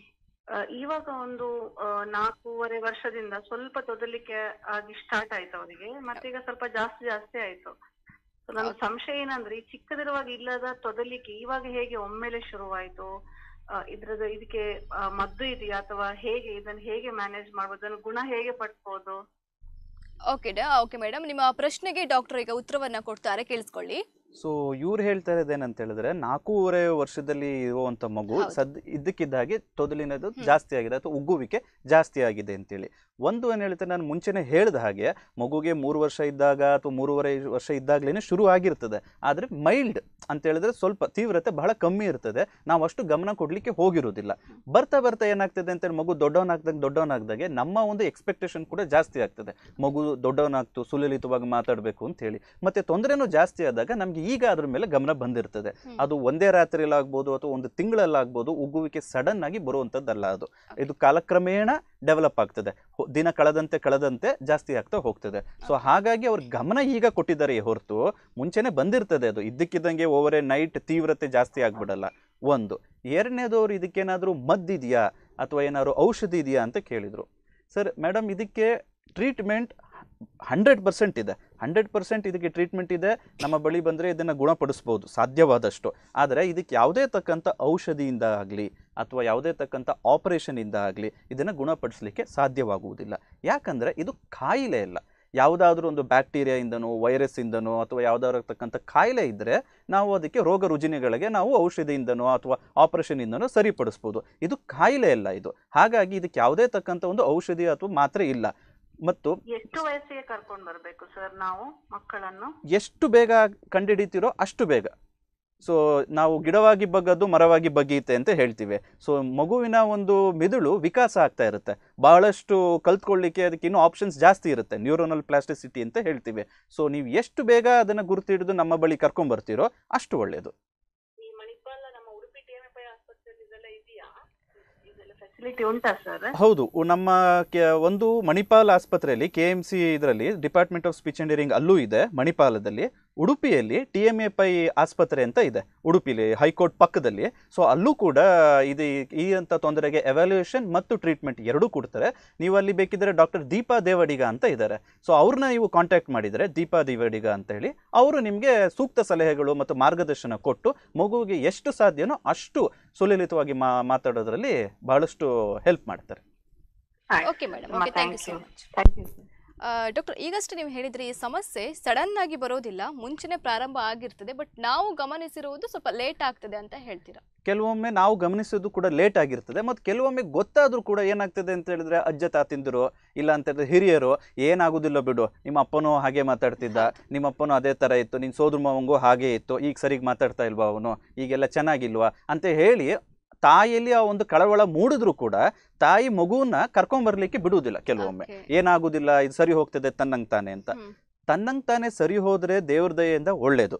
ನಮಗೂ ಖುಷಿನೇ ನಮಗೂ ಏನು ಮಗುನ ನಾವು ಟ್ರೀಟ್ ಮಾಡಬೇಕು ಅಂತ ನಮಗೂ ಏನಿಲ್ಲ. ತನ್ನಂತಾನೆ ಸರಿ ಹೋದ್ರೆ ಸರಿ. ಅಕಸ್ಮಾತ್ ಸರಿ ಹೋಗ್ಲಿಲ್ಲ ಅಂತ ಹೇಳಿದ್ರೆ ಕಾಲ ಮೀರ್ ಹೋಗಿರುತ್ತೆ. ಮಗು ಒಂದು ಸಲ ಬೆಳೆದ ಮೇಲೆ ಬಹಳಷ್ಟು ಕಷ್ಟ ಅದನ್ನ ಕಮ್ಮಿ ಮಾಡೋದು. ಹೋಗ್ಸ್ಲಿಕ್ಕೆ ಹೋಗ್ಸ್ಲಿಕ್ಕಾಗಲ್ಲ ಅಂತಲ್ಲ. ಬಟ್ ಬಹಳಷ್ಟು ಸಮಯ ತಗೋತದೆ ಮತ್ತು ಕ್ವಾಲಿಟಿ ಎಷ್ಟು ಇಂಪ್ರೂವ್ ಮಾಡ್ತೀವಿ ಚಿಕ್ಕವನಾಗಿದ್ದಾಗ ಮಾಡಿದಷ್ಟು ಇಂಪ್ರೂವ್ಮೆಂಟು ದೊಡ್ಡವನಾದಾಗ ಅಷ್ಟು ಬರುವುದಿಲ್ಲ. ಅದಕ್ಕೆ ನಾವು ಹೇಳೋದು ನಿಮಗೆ ಕಂಡಿಡಿದ ತಕ್ಷಣ ಅಥವಾ ನಿಮ್ಗೆ ಏನೋ ಒಂದು ಮಾತಿನಲ್ಲಿ ತೊಂದರೆ ಇದೆ ಅಂದ ತಕ್ಷಣ ಒಮ್ಮೆ ನಮ್ಮ ಬಳಿ ಕರ್ಕೊಂಬಂದು ವಾಗ್ಭಾಷಾ ತಜ್ಞರ ಬಳಿ ಕರ್ಕೊಂಬಂದು ಒಂದ್ಸಲ ತೋರಿಸಿ. ನಾವು ಹೇಗೆ ಹೇಳ್ತೀವಿ ಹಾಗೆ ಮಾರ್ಗದರ್ಶನದಲ್ಲಿ ನೀವು ಮುಂದುವರೆತು ಅಂತ ಹೇಳಿದ್ರೆ ಮಗು ಸುಲಲಿತವಾಗಿ ಮಾತಾಡಲಿಕ್ಕೆ ಸಾಧ್ಯ. ಹಾಗೆ ನೀವು ನೀವು ತನ್ನಂತಾನೆ ಸರಿ ಹೋಗಬಹುದು ಅಂತ ಹೇಳ್ತಾ ಇದ್ದೀರಲ್ಲ ಸೊ ಎಷ್ಟು ಪರ್ಸೆಂಟ್ ಇರ್ತದೆ ತನ್ನಂತಾನೆ ಸರಿ ಆಗುವುದು? ಸೊ ಯೂಶಲಿ ಏನಾಗ್ತದೆ ಅಂತ ಹೇಳಿದ್ರೆ ಮಕ್ಕಳು ಕಲಿಯುವಾಗ ಈಗ ನಿಮಗೆ ಗೊತ್ತು ಎಲ್ಲಾ ಮಕ್ಕಳು ನಡೆಯುವಾಗ ಬಿದ್ದೆ ಬೀಳ್ತವೆ. ಎಡು ಬೀಳ್ತವೆ ಮಕ್ಕಳು ಮತ್ತೆ ಏಟಾಗ್ತದೆ ಮತ್ತೆ ಸರಿ ಮಾಡ್ಕೊಂಡು ನಡಿಲಿಕ್ಕೆ ಶುರು ಮಾಡ್ತಾರೆ. ಹಾಗೆ ಮಾತನಾಡುವಾಗಲೂ ಕೂಡ ಕೆಲವೊಂದು ಮಕ್ಕಳಿಗೆ ತೊದಲಿನ ಸಮಸ್ಯೆ ಆಗ್ಬೋದು ಅಥವಾ ಉಗ್ಗುವಿಕೆ ಸಮಸ್ಯೆ ಬರ್ತದೆ. ಹಾಗೆ ಒಂದು ಅರವತ್ತು ಪರ್ಸೆಂಟ್ ಮಕ್ಕಳು ಅದರಿಂದ ಆಚೆ ಬರ್ತಾರೆ ನೂರರಲ್ಲಿ ನೂರು ಮಕ್ಕಳಲ್ಲಿ ನೂರು ಮಕ್ಕಳಲ್ಲೂ ಸಹ ಈ ತೊಂದರೆ ಕಾಣಿಸ್ಕೊಳ್ತದೆ. ಯಾವುದಾದ್ರೂ ಒಂದು ಹಂತದಲ್ಲಿ ಒಂದು ತೊಂಬತ್ತರಿಂದ ತೊಂಬತ್ತೈದು ಶೇಕಡ ಮಕ್ಕಳಲ್ಲಿ ಕಾಣಿಸ್ಕೊಳ್ತದೆ. ಅದರಲ್ಲಿ ಒಂದು ಅರವತ್ತು ಪರ್ಸೆಂಟ್ ಅಷ್ಟು ಮಕ್ಕಳು ಅದರಿಂದ ತನಗೆ ತಾನೇ ಸ್ಪಾಂಟಿನಿಯಸ್ ರಿಕವರಿ ಅಂತ ಹೇಳ್ತೀವಿ.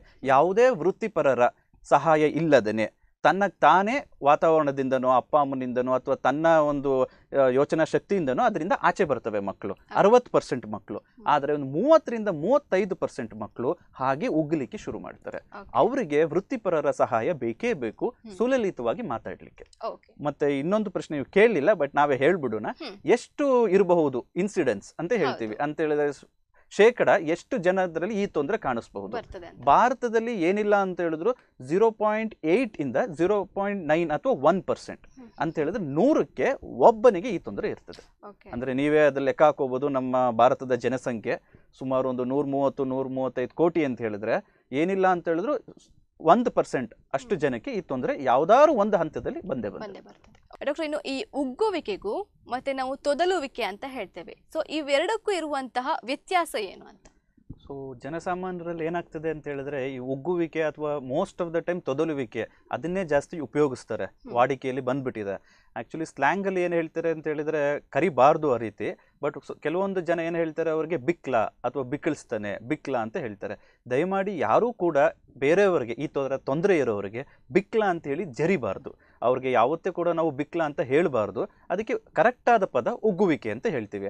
ಆದರೆ ಉಗ್ಗುವಿಕೆಗೂ ತೊದಲುವಿಕೆಗೂ ಇರೋ ವ್ಯತ್ಯಾಸ ಏನಂತ ಹೇಳಿದ್ರೆ, ತೊದಲುವಿಕೆ ಅಂತ ಹೇಳಿದ್ರೆ ಮಕ್ಕಳು ಮಾತನಾಡುವಾಗ ಹಕಾರದ ಬದಲು ಶಕಾರ ಆಗ್ಬೋದು, ರಕಾರ ಬರಲ್ಲ. ಈಗ ರಾಕ್ಷಸ ಅನ್ನಕ್ಕೆ ಲಾಕ್ಷಸ, ನನ್ನ ಎತ್ಲೋ ಲಾಕೆತ ಈ ರೀತಿ ಒಂದು ಉಚ್ಚಾರಣಾ ದೋಷಕ್ಕೆ ತೊದಲುವಿಕೆ ಅಂತ ಹೇಳ್ತೀವಿ. ಅಥವಾ ಅದು ಕರೆಕ್ಟಾದ ಪದ ಅಂದರೆ ಉಚ್ಚಾರಣಾ ದೋಷ. ಇಂಗ್ಲೀಷ್ನಲ್ಲಿ ಮಿಸ್ಆರ್ಟಿಕ್ಯುಲೇಷನ್ ಅಂತೂ ಕೂಡ ಕರಿತೀವಿ. ಈ ರೀತಿಯಾದ ತೊಂದರೆಗೆ ತೊದಲುವಿಕೆ ಅಂತ ಹೇಳ್ತೀವಿ. ಅದೇ ಉಗ್ಗುವಿಕೆ ಅಂತ ಹೇಳಿದಾಗ ಅವರಿಗೆ ಅಕ್ಷರನ ಹೇಳಲಿಕ್ಕೆ, ಉಚ್ಚಾರಣೆ ಮಾಡಲಿಕ್ಕೆ ಚೆನ್ನಾಗಿ ಮಾಡ್ತಾರೆ ಅವರು. ಆದರೆ ಅದಾದಮೇಲೆ ಹಿಡಿತದೆ. ಹೇಳಿದ್ನಲ್ಲ ಅವಾಗ ಕ- ಕಾಗೆ ಆಗಿರ್ಬೋದು ಪಾಪು ಆಗಿರ್ಬೋದು ಈ ರೀತಿ ತೊಂದರೆಗಳಿಗೆ ನಾವು ಉಗ್ಗುವಿಕೆ ಅಂತ ಹೇಳ್ತೀವಿ. ಲಾಕ್ಸಸ ನನ್ನ ಹೆಸರು ಲಾಕೇತ ನಾನು ಇವತ್ತು ಬೆಳಗ್ಗೆಯಿಂದ ಹೋಗಿ ಬಂದೆ. ಈ ರೀತಿ ಒಂದು ಉಚ್ಚಾರಣೆ ದೋಷ ಇರೋರಿಗೆ ನಾವು ತೊದಲುವಿಕೆ ಅಥವಾ ಉಚ್ಚಾರಣ ದೋಷ ಅಂತ ಕರಿತೀವಿ. ಎರಡು ಒಂದೇ ಅಲ್ಲ. ಓಕೆ ಎರಡಕ್ಕೂ ಕೂಡ ವ್ಯತ್ಯಾಸ ಇದೆ. ವ್ಯತ್ಯಾಸ ಇದೆ. ಹಾಗೆ ಡಾಕ್ಟರ್ ಒಬ್ರು ಕಾಲರ್ ರೆಡಿ ಇದ್ದಾರೆ ಅವ್ರ ಜೊತೆ ಮಾತಾಡೋಣ. ಹಲೋ ಹಲೋ ಹಲೋ ನಮಸ್ತೆ. ನಮಸ್ತೆ ತಮ್ಮ ಹೆಸರು ಎಲ್ಲಿಂದ ಕರೆ ಮಾಡ್ತಾ ಇದ್ದೀರಾ? ನಾನು ಅರ್ಚನಾ ಅಂತ ಕೋಟೇಶ್ವರದಿಂದ ಕಾಲ್ ಮಾಡುದು. ಓಕೆ ಹೇಳಿ. ಆ ನಂಗೆ ಒಂದು ಡೌಟ್ ಇತ್ತು ಕೇಳ್ಬೇಕಿತ್ತು ಈ ಉಗ್ಗುವಿಕೆ ಬಗ್ಗೆ ಮಾತಾಡ್ಬೋದಾ? ಖಂಡಿತ ಮೇಡಮ್ ಕೇಳಿ ಡಾಕ್ಟರ್ ಇದ್ದಾರೆ. ಹಾ ಆಕ್ಚುಲಿ ಏನಾಗಿದೆ ಅಂದ್ರೆ ಇವರು ಉಗ್ಗುವಿಕೆ ಬಗ್ಗೆ ಮಾತಾಡ್ತಾ ಇದ್ರು. ಅದು ಮಕ್ಕಳಿಗೆ ಮಾತ್ರನಾ ದೊಡ್ಡವರಲ್ಲೂ ಕಾಣ್ತದ. ಯಾಕಂದ್ರೆ ನಮ್ಮನೆ ಪಕ್ಕ ಒಬ್ರಿಗೆ ಸರಿ ಇದ್ರು ಅವ್ರಿಗೆ ಆಕ್ಸಿಡೆಂಟ್ ಆಯ್ತು. ಐ ಥಿಂಕ್ ಅವರು ಒಂದು ನಲ್ವತ್ ನಲ್ವತ್ತೈದು ವರ್ಷ ಇರ್ಬೋದು. ಬಟ್ ಈಗ ಆಕ್ಸಿಡೆಂಟ್ ಆದ್ಮೇಲೆ ಕೆಲವು ಅಕ್ಷರಗಳಲ್ಲಿ ತುಂಬಾ ಉಗ್ಗುತ್ತಾರೆ. ಓಕೆ ಈ ಪ್ರೋಗ್ರಾಮ್ ನೋಡ್ತಾ ಇದ್ದೆ ನಾನು. ಸೊ ಅವ್ರಿಗೆ ಏನಾದ್ರೂ ಹೆಲ್ಪ್ ಮಾಡ್ಲಿಕ್ಕೆ ಆಗ್ಬೋದಾ ಅಂತ ಯೋಚನೆ ಮಾಡ್ತಾ ಇತ್ತು. ಖಂಡಿತ ma'am. ತುಂಬಾ ಒಳ್ಳೆ ಪ್ರಶ್ನೆಯನ್ನ ಕೇಳಿದ್ರಿ. ಡಾಕ್ಟರ್ ಉತ್ತರವನ್ನ ಕೊಡ್ತಾರೆ ನಿಮ್ಮ ಪ್ರಶ್ನೆಗೆ. ಕೇಳಿಸ್ಕೊಳ್ಳಿ. Good that was a really good question madam so the thing ಏನಂತ ಹೇಳಿದ್ರೆ ಅವ್ರು ಕೇಳ್ತಾ ಇರೋದು ಆಕ್ಸಿಡೆಂಟ್ ಆದ ನಂತರ ಇವರು ಮುಂಚೆ ಚೆನ್ನಾಗಿ ಮಾತಾಡ್ತಾ ಇದ್ರು ಆಕ್ಸಿಡೆಂಟ್ ಆದಮೇಲೆ ಈಗ ಅವರು ಉಗ್ತಾ ಇದ್ದಾರೆ ಅಂತೇಳಿ ಸೊ ನಾನು ಇಷ್ಟೊತ್ತು ಏನೇನು ಮಾತಾಡ್ತಾ ಇದ್ದೆ, ಇದು ಎಲ್ಲ ಗುಣಲಕ್ಷಣಗಳು ಬೆಳವಣಿಗೆ ಹಂತದಲ್ಲಿ ಕಂಡು ಬರುವತಕ್ಕಂಥ ಉಗ್ಗುವಿಕೆ ಬಗ್ಗೆ ಮಾತಾಡ್ತಾ ಇದ್ದೆ. ಯಾಕಂದರೆ ಮಕ್ಕಳನ್ನ ನಾವು ಜಾಸ್ತಿ ಟಾರ್ಗೆಟ್ ಮಾಡಿ ಅವ್ರಿಗೆ ಸುಲಲಿತವಾಗಿ ಮಾತಾಡಿರುವಂಥ ಉಗ್ಗುವಿಕೆಯಲ್ಲೂ ಕೂಡ ಕೆಲವರು ವಿಧಗಳಿವೆ. ಸೊ ಮೊದಲನೇದು ಬೆಳವಣಿಗೆ ಹಂತದಲ್ಲಿ ಬರುವತಕ್ಕಂಥ ಉಗ್ಗುವಿಕೆ ಎರಡನೇದು ನ್ಯೂರೋಜೆನಿಕ್ ಸ್ಟಟ್ರಿಂಗ್ ಅಂತ ಹೇಳ್ತೀವಿ. ಸರಿನಾ? ಈ ರೀತಿ ಯಾವುದತಕ್ಕಂಥ ಆಕ್ಸಿಡೆಂಟ್ ಆದಾಗ, ಮಿದುಳಿಗೆ ಘಾಸಿ ಉಂಟಾದಾಗ ಬರುವತಕ್ಕಂಥ ಉಗ್ಗುವಿಕೆ ಮೂರನೇದು ಸೈಕೋಜೆನಿಕ್ ಉಗುವಿಕೆ ಅಥವಾ ಸೈಕೋಜೆನಿಕ್ ಸ್ಟಟ್ರಿಂಗ್ ಅಂತ ಹೇಳ್ತೀವಿ. ಸರಿನಾ? ಯಾವ್ದಾದ್ರು ಒಂದು ಸೈಕೊಲಾಜಿಕಲ್ ಪ್ರಾಬ್ಲಮ್ ಇಂದರೂ ಕೂಡ ಉಗ್ಗುವಿಕೆ ಬರ್ತದೆ. ಈ ರೀತಿ ಸೈಕೊಲಾಜಿಕಲ್ ಸ್ಟಟ್ರಿಂಗ್ ಆಗಿರ್ಬೋದು ಸೈಕೋಜೆನಿಕ್ ಅಥವಾ ನ್ಯೂರೋಜೆನಿಕ್ ಸ್ಟಟ್ರಿಂಗ್ ಆಗಿರ್ಬೋದು ಇದು ಅಡಲ್ಟ್ಸ್ ಅಲ್ಲಿ ಮಾತ್ರ ಕಂಡು ಬರ್ತದೆ. ಸೊ ಅವರು ಹೇಳಿದಾಗೆ ಅವರ ಒಂದು ಪಕ್ಕದ ಮನೆಯವರು ಗೊತ್ತಿರೋರಿಗೆ. ಆಕ್ಸಿಡೆಂಟ್ ಆಯಿತು ಅಂತ ಹೇಳಿದ್ರು. ಸೊ ಅವಾಗ ಏನಾಯ್ತು ಅಂತ ಹೇಳಿದ್ರೆ ನರಮಂಡಲಕ್ಕೆ ಅಥವಾ ಒಂದು ಮೆದುಳಿಗೆ ಘಾಸಿ ಉಂಟಾಗಿರ್ತದೆ. ಘಾಸಿ ಉಂಟಾದಾಗ ಏನಾಗ್ತದೆ? ಅದರಲ್ಲಿ ಉಗ್ಗುವಿಕೆ ಅದು ಒಂದು ಕ್ಯಾರೆಕ್ಟರಿಸ್ಟಿಕ್ಸ್ ಅದು ಆಚೆ ಹೊರಹೊಮ್ಮಿಸ್ತಾ ಇರ್ತದೆ. ಇವರಿಗೆ ನಮ್ಮ ಕೆ ಎಂ ಸಿ ಆಸ್ಪತ್ರೆಗೆ ಬಂತು ಅಂತ ಹೇಳಿದರೆ ಒಂದು ನ್ಯೂರಾಲಜಿಸ್ಟ್ ಇಂದ ಕೂಡ ಒಂದು ಟ್ರೀಟ್ಮೆಂಟ್ ಸಿಗ್ತದೆ. ನಂತರ ಸ್ಪೀಚ್ ಲ್ಯಾಂಗ್ವೇಜ್ ಪೆಥಾಲಜಿಸ್ಟ್ ಇಂದ ಕೂಡ ಉಗ್ಗುವಿಕೆಗೆ ಅವರಿಗೆ ನೋಡಿ ಅಸೆಸ್ಮೆಂಟ್ ಮಾಡಿ ಟ್ರೀಟ್ಮೆಂಟ್ ಕೂಡ ಒದಗಿಸ್ತೀವಿ. ಒಂದು ಇಟ್ ಕುಡ್ ಬಿ ಒಂದು ಬಿಹೇವಿಯರಲ್ ಟ್ರೀಟ್ಮೆಂಟ್ ಕೊಡ್ತೀವಿ, ಮಾತಿನ ತರಬೇತಿಯಿಂದ ಸರಿ ಮಾಡ್ತೀವಿ, ಮತ್ತೆ ಜೊತೆಗೆ ಔಷಧಿ ಮತ್ತು ಉಪಚಾರ ಅಥವಾ ಆಪರೇಷನ್ ಇಂದನೂ ಕೂಡ ಇದನ್ನ ಸರಿ ಮಾಡ್ಬೋದು. ಏನಕ್ಕಂದರೆ ಅವರಿಗೆ ಆಕ್ಸಿಡೆಂಟ್ ಅಲ್ಲಿ ಒಂದು ಘಾಸಿ ಉಂಟಾಗಿರ್ತದೆ. ಇಲ್ಲ ಅಂತ ಹೇಳಿದ್ರೆ ಸ್ಟ್ರೋಕ್ ಆಗಿರ್ಬೋದು, ಇಲ್ಲ ಆಕ್ಸಿಡೆಂಟ್ ಆಗಿರ್ಬೋದು. ಸೊ ಅದನ್ನ ಸರಿ ಮಾಡಿದಾಗ ಉಗ್ಗುವಿಕೆ ಕೂಡ ತೀವ್ರತೆ ಕಮ್ಮಿ ಆಗ್ತದೆ. ಅದು ಹೋಗಲಿಲ್ಲ ಅಂತ ಹೇಳಿದ್ರೆ ಉಳಿದಂತ ತೀವ್ರತೆಯನ್ನು ನಾವು ಮಾತಿನ ತರಬೇತಿಯಿಂದ ಆದಷ್ಟು ಹತೋಟಿಗೆ ತರಕ್ಕೆ ಪ್ರಯತ್ನ ಮಾಡ್ತೀವಿ. ಅಲ್ಲ ಮೊದ್ಲು ಅವ್ರಿಗೆ ಇರ್ಲಿಲ್ಲ ಬಟ್ ಅವ್ರಿಗೆ ಮೊದ್ಲು ಆ ತೊಂದ್ರೆ ಇರ್ಲಿಲ್ಲ. ಆಕ್ಸಿಡೆಂಟ್ ಆದ್ಮೇಲೆ ಬಂದಿತ್ತು. ಹೌದು, ಇದು ಮೊದಲು ಯಾಕೆ ಇರಲಿಲ್ಲ ಅಂತೇಳಿ ಅವ್ರಿಗೆ ಬೆಳವಣಿಗೆ ಬೆಳವಣಿಗೆ ಹಂತದಲ್ಲಿ ಕೂಡ ಅವರು ಸುಲಲಿತವಾಗಿ ಮಾತಾಡ್ತಾ ಇದ್ರು. ಅವರಿಗೆ ಡೆವಲಪ್ಮೆಂಟಲ್ ಸ್ಟಟ್ರಿಂಗ್ ಅನ್ನೋದು ಇರಲಿಲ್ಲ. ಸೊ ನನ್ನ ಈಗ ನನ್ನ ಎಕ್ಸಾಂಪಲ್ ತಗೊಳ್ಳಿ. ಈಗ ಸುಲಲಿತವಾಗಿ ಮಾತಾಡ್ತಾ ಇದ್ದೀನಿ. ಬೈ ಇನ್ ಚಾನ್ಸ್ ಹೋಗುವಾಗ ಏನಾದರೂ ಆಕ್ಸಿಡೆಂಟ್ ಆಯಿತು ಅಥವಾ ಸ್ಟ್ರೋಕ್ ಆಯಿತು ಅಂತ ಹೇಳಿದರೆ, ನನ್ನ ಮೆದುಳಿಗೆ ಘಾಸಿ ಉಂಟಾದಾಗ, ಪ್ರತಿ ಪ್ರತಿ ಸಲೇನು ಘಾಸಿ ಉಂಟಾದಾಗ ನಮಗೆ ಸ್ಟಟ್ರಿಂಗ್ ಬರಬೇಕು ಅಂತ ಇಲ್ಲ. ಆ ಒಂದು ಮಾತಿನ ಒಂದು ಕಂಟ್ರೋಲ್ ಮಾಡುತ್ತಲ್ಲ, ಮಾತಿನ ಒಂದು ಚಲನವಲನಗಳನ್ನು ಕಂಟ್ರೋಲ್ ಮಾಡತಕ್ಕಂಥ ಮಿದುಳಿನ ಜಾಗಕ್ಕೆ ಘಾಸಿ ಉಂಟಾದರೆ, ನನಗೂ ಕೂಡ ಸ್ಟಟ್ರಿಂಗ್ ಬರ್ತದೆ. ಅದನ್ನು ನಾವು ನ್ಯೂರೋಜೆನಿಕ್ ಸ್ಟಟ್ರಿಂಗ್ ಅಂತೀವಿ. ಮುಂಚೆ ಸುಲಲಿತವಾಗಿದ್ದರೂ ಕೂಡ ಆಪರೇಷನ್ ಅಥವಾ ಒಂದು ಸ್ಟ್ರೋಕ್ ಅಥವಾ ಒಂದು ಆಕ್ಸಿಡೆಂಟ್ ಆದಮೇಲೆ ನನಗೆ ಉಗ್ಗುವ ಒಂದು ಚಾನ್ಸಸ್ ಇರ್ತದೆ. Okay madam thank you thank you so much thank you sir doctor ಇನ್ನೊಂದು ಮಾತು ಹೇಳ್ತಾರೆ ಉಗ್ಗುವಿಕೆ ಇರುವವರಿಗೆ ಬುದ್ಧಿಶಕ್ತಿ ಕಡಿಮೆ ಅಂತ ಹೇಳಿ. ಸೊ ಇದು ನಿಜವ ಸತ್ಯವ? ಉಗ್ಗುವಿಕೆ ಇರುವವರಿಗೆ ಬುದ್ಧಿಶಕ್ತಿ ಕಮ್ಮಿ ಇದು ಒಂದು ಮೂಢನಂಬಿಕೆ. ಇದರಲ್ಲಿ ಯಾವುದೇ ತಕ್ಕಂಥ ಸತ್ಯಾಂಶ ಇರುವುದಿಲ್ಲ. ಸೊ ವಾಸ್ತವಕ್ಕೆ ಇದು ಬಹಳ ದೂರ. ಉಗ್ಗುವಿಕೆ ಇರುವವರಿಗೆ ಒಂದು ಬುದ್ಧಿಶಕ್ತಿ ಕಮ್ಮಿ ಇರ್ತದೆ ಅನ್ನೋದು ಬಹಳಷ್ಟು ಒಂದು ದೊಡ್ಡ ಮೂಢನಂಬಿಕೆ ಅಪನಂಬಿಕೆ ಅಂತ ಹೇಳ್ಬೋದು. ಏನಕ್ಕೆ ಅಂತ ಹೇಳೋದು ಉದಾಹರಣೆ ಕೊಡ್ತೀನಿ. ಅವ್ರಿಗೂ ನಮ್ಮನಿಗೇನೆ ಎಷ್ಟು ಬುದ್ಧಿಶಕ್ತಿ ನನಗಿರ್ತದೋ ಅಥವಾ ಒಂದು ಸುಲಲಿತವಾಗಿ ಮಾತಾಡೋರಿಗಿರ್ತದೋ ಅವ್ರಿಗೂ ಕೂಡ ಅಷ್ಟೇ ಬುದ್ಧಿಶಕ್ತಿ ಇರ್ತದೆ. ಅಥವಾ ಅದಕ್ಕಿಂತ ಜಾಸ್ತಿ ಕೂಡ ಇರ್ತದೆ. ಎಕ್ಸಾಂಪಲ್ ಯಾರು ಹೇಳಬೇಕು ಅಂತ ಹೇಳಿದ್ರೆ ನಿಮ್ಗೆಲ್ಲರಿಗೂ ಗೊತ್ತಿರುವ ಹಾಗೆ sir Isaac Newton so Newton ಆಗಿರ್ಬೋದು ಅಥವಾ ಆರಿಸ್ಟಾಟಲ್ ಆಗಿರ್ಬೋದು ಇವರು ಜಗತ್ ವಿಖ್ಯಾತ ಪ್ರಪಂಚದಾದ್ಯಂತ ಬಹಳಷ್ಟು ಒಳ್ಳೆ ಕೆಲಸಗಳು ಮಾಡಿರತಕ್ಕಂಥ ವಿಜ್ಞಾನಿಗಳು. ಇವ್ರಿಗೂ ಕೂಡ ಉಗ್ಗುವಿಕೆ ಇತ್ತು. ನೀವು ಹೇಳೋ ಥರ ಏನಾದ್ರು ಉಗ್ಗುವಿಕೆ ಇರೋರಿಗೆ ಬುದ್ಧಿಶಕ್ತಿ ಕಮ್ಮಿ ಅಂತ ಆಗಿದ್ದಿದ್ರೆ ಸರ್ ಐಸಾಕ್ ನ್ಯೂಟನ್ ಆಗಲಿ ಆರಿಸ್ಟಾಟಲ್ ಆಗಲಿ ಇಷ್ಟೊಂದು ಸಾಧನೆ ಮಾಡಲಿಕ್ಕೆ ಸಾಧ್ಯನೇ. ಇರ್ತಿರ್ಲಿಲ್ಲ. ಖಂಡಿತ ಹೌದು ಸರ್ ಹಾಗೆ ಇನ್ನೊಬ್ರು ಕಾಲರ್ ಇದ್ದಾರೆ. ಹಲೋ ಹಲೋ ನಮಸ್ತೆ ತಮ್ಮ ಹೆಸರು ಎಲ್ಲಿಂದ ಕಾಲ್ ಮಾಡ್ತಾ ಇದ್ದೀರಾ? ನಮಸ್ಕಾರ ನನ್ನ ಹೆಸರು ಹರ್ಷಿತ್ ಅಂತ. ನಾನು ಮೈಸೂರಿನಿಂದ ಕಾಲ್ ಮಾಡ್ತಾ ಇರೋದು. ಓಕೆ ಸರ್ ಹೇಳಿ. ಡಾಕ್ಟರ್ ರಾಕೇಶ್ ಅವರು ಒಳ್ಳೆ ವಾಕ್ಚಾತುರ್ಯ ಇರುವಂತ ವೈದ್ಯರು ತುಂಬಾ ಸಂತೋಷ ಅವರನ್ನೇ ಮಾತಾಡ್ತಾ ಇರೋದು. ನನ್ನ ಹತ್ರ ಎರಡು ಪ್ರಶ್ನೆಗಳಿತ್ತು. ಖಂಡಿತ ಒಂದು ಈ ವಾ- ಗುಣಪಡಿಸುವ ಗುಣಪಡಿಸೋ ರೀತಿಯಲ್ಲಿ ಮಾತಿನ ತರಬೇತಿಯಿಂದ ಏನಾದ್ರೂ ಅಡ್ಡ ಪರಿಣಾಮ ಏನಾದ್ರೂ ಇರುತ್ತದೆಯಾ? ಅಥವಾ ಅದರಿಂದ ಸೈಕಲಾಜಿಕಲ್ ಎಫೆಕ್ಟ್ಸ್ ಅಂತ ಏನಾದ್ರೂ ಆಗುತ್ತಾ. ಇನ್ನೊಂದು ಈ ತರ ಮಾಡೋದ್ರಲ್ಲಿ ವೈದ್ಯರ ಪಾತ್ರಗಳು ಏನಿರ್ತವೆ ಅವ್ರು ಎಷ್ಟು ಮಟ್ಟಕ್ಕೆ ಅವರ ಪಾತ್ರ ಮುಖ್ಯವಾಗಿರುತ್ತೆ ಅನ್ನೋದು ತಿಳ್ಕೊಬೇಕು ಓಕೆ ಸರ್ ತಮ್ಮ ಪ್ರಶ್ನೆಗೆ ಉತ್ತರವನ್ನು ರಾಕೇಶ್ ಅವರು ಕೊಡ್ತಾರೆ. ಕೇಳಿಸ್ಕೊಳ್ಳಿ. ಇದಂತೂ ಹರ್ಷಿತ್ ಅವರೇ ಬಹಳ ಒಳ್ಳೆ ಪ್ರಶ್ನೆಯನ್ನು ಕೇಳಿದಿರಿ. ಯಾಕಂತಂದ್ರೆ ನಾವು ಯಾವತ್ತಾದರೂ ಒಂದು ಟ್ರೀಟ್ಮೆಂಟ್ ಅಂತ ತಗೊಳ್ಳುವಾಗ, ಒಂದು ಥೆರಪಿ ಅಂತ ತಗೊಳ್ಳುವಾಗ ಅದರ ಅನ, ಅನುಕೂಲಗಳು ಮತ್ತು ಅನಾನುಕೂಲಗಳು ಎರಡನ್ನೂ ಕೂಡ ಗಮನದಲ್ಲಿ ಇಟ್ಟುಕೊಂಡು ನಂತರ ನಾವು ಆ ಟ್ರೀಟ್ಮೆಂಟ್ನ ತಗೋಬೇಕಾಗತ್ತೆ. ದೇವ್ರ ದಯೆಯಿಂದ ಫಾರ್ಚುನೇಟ್ಲಿ ಮಾತಿನ ತರಬೇತಿಯಿಂದ ಯಾವುದೇ ತಕ್ಕಂಥ ಅನಾನುಕೂಲಗಳು ಇರುವುದಿಲ್ಲ. ನೂರಕ್ಕೆ ನೂರರಷ್ಟು. ಯಾಕೆಂತ ಹೇಳಿದ್ರೆ ನಾವು ಯಾವುದೇ ತಕ್ಕಂಥ ಒಂದು ಆಪರೇಷನ್ ಮಾಡುವುದಿಲ್ಲ ಅಥವಾ ಯಾವುದೇ ತಕ್ಕಂಥ ಒಂದು ಮೆಡಿಸಿನ್ಸ್ನ ಕೊಡುವುದಿಲ್ಲ.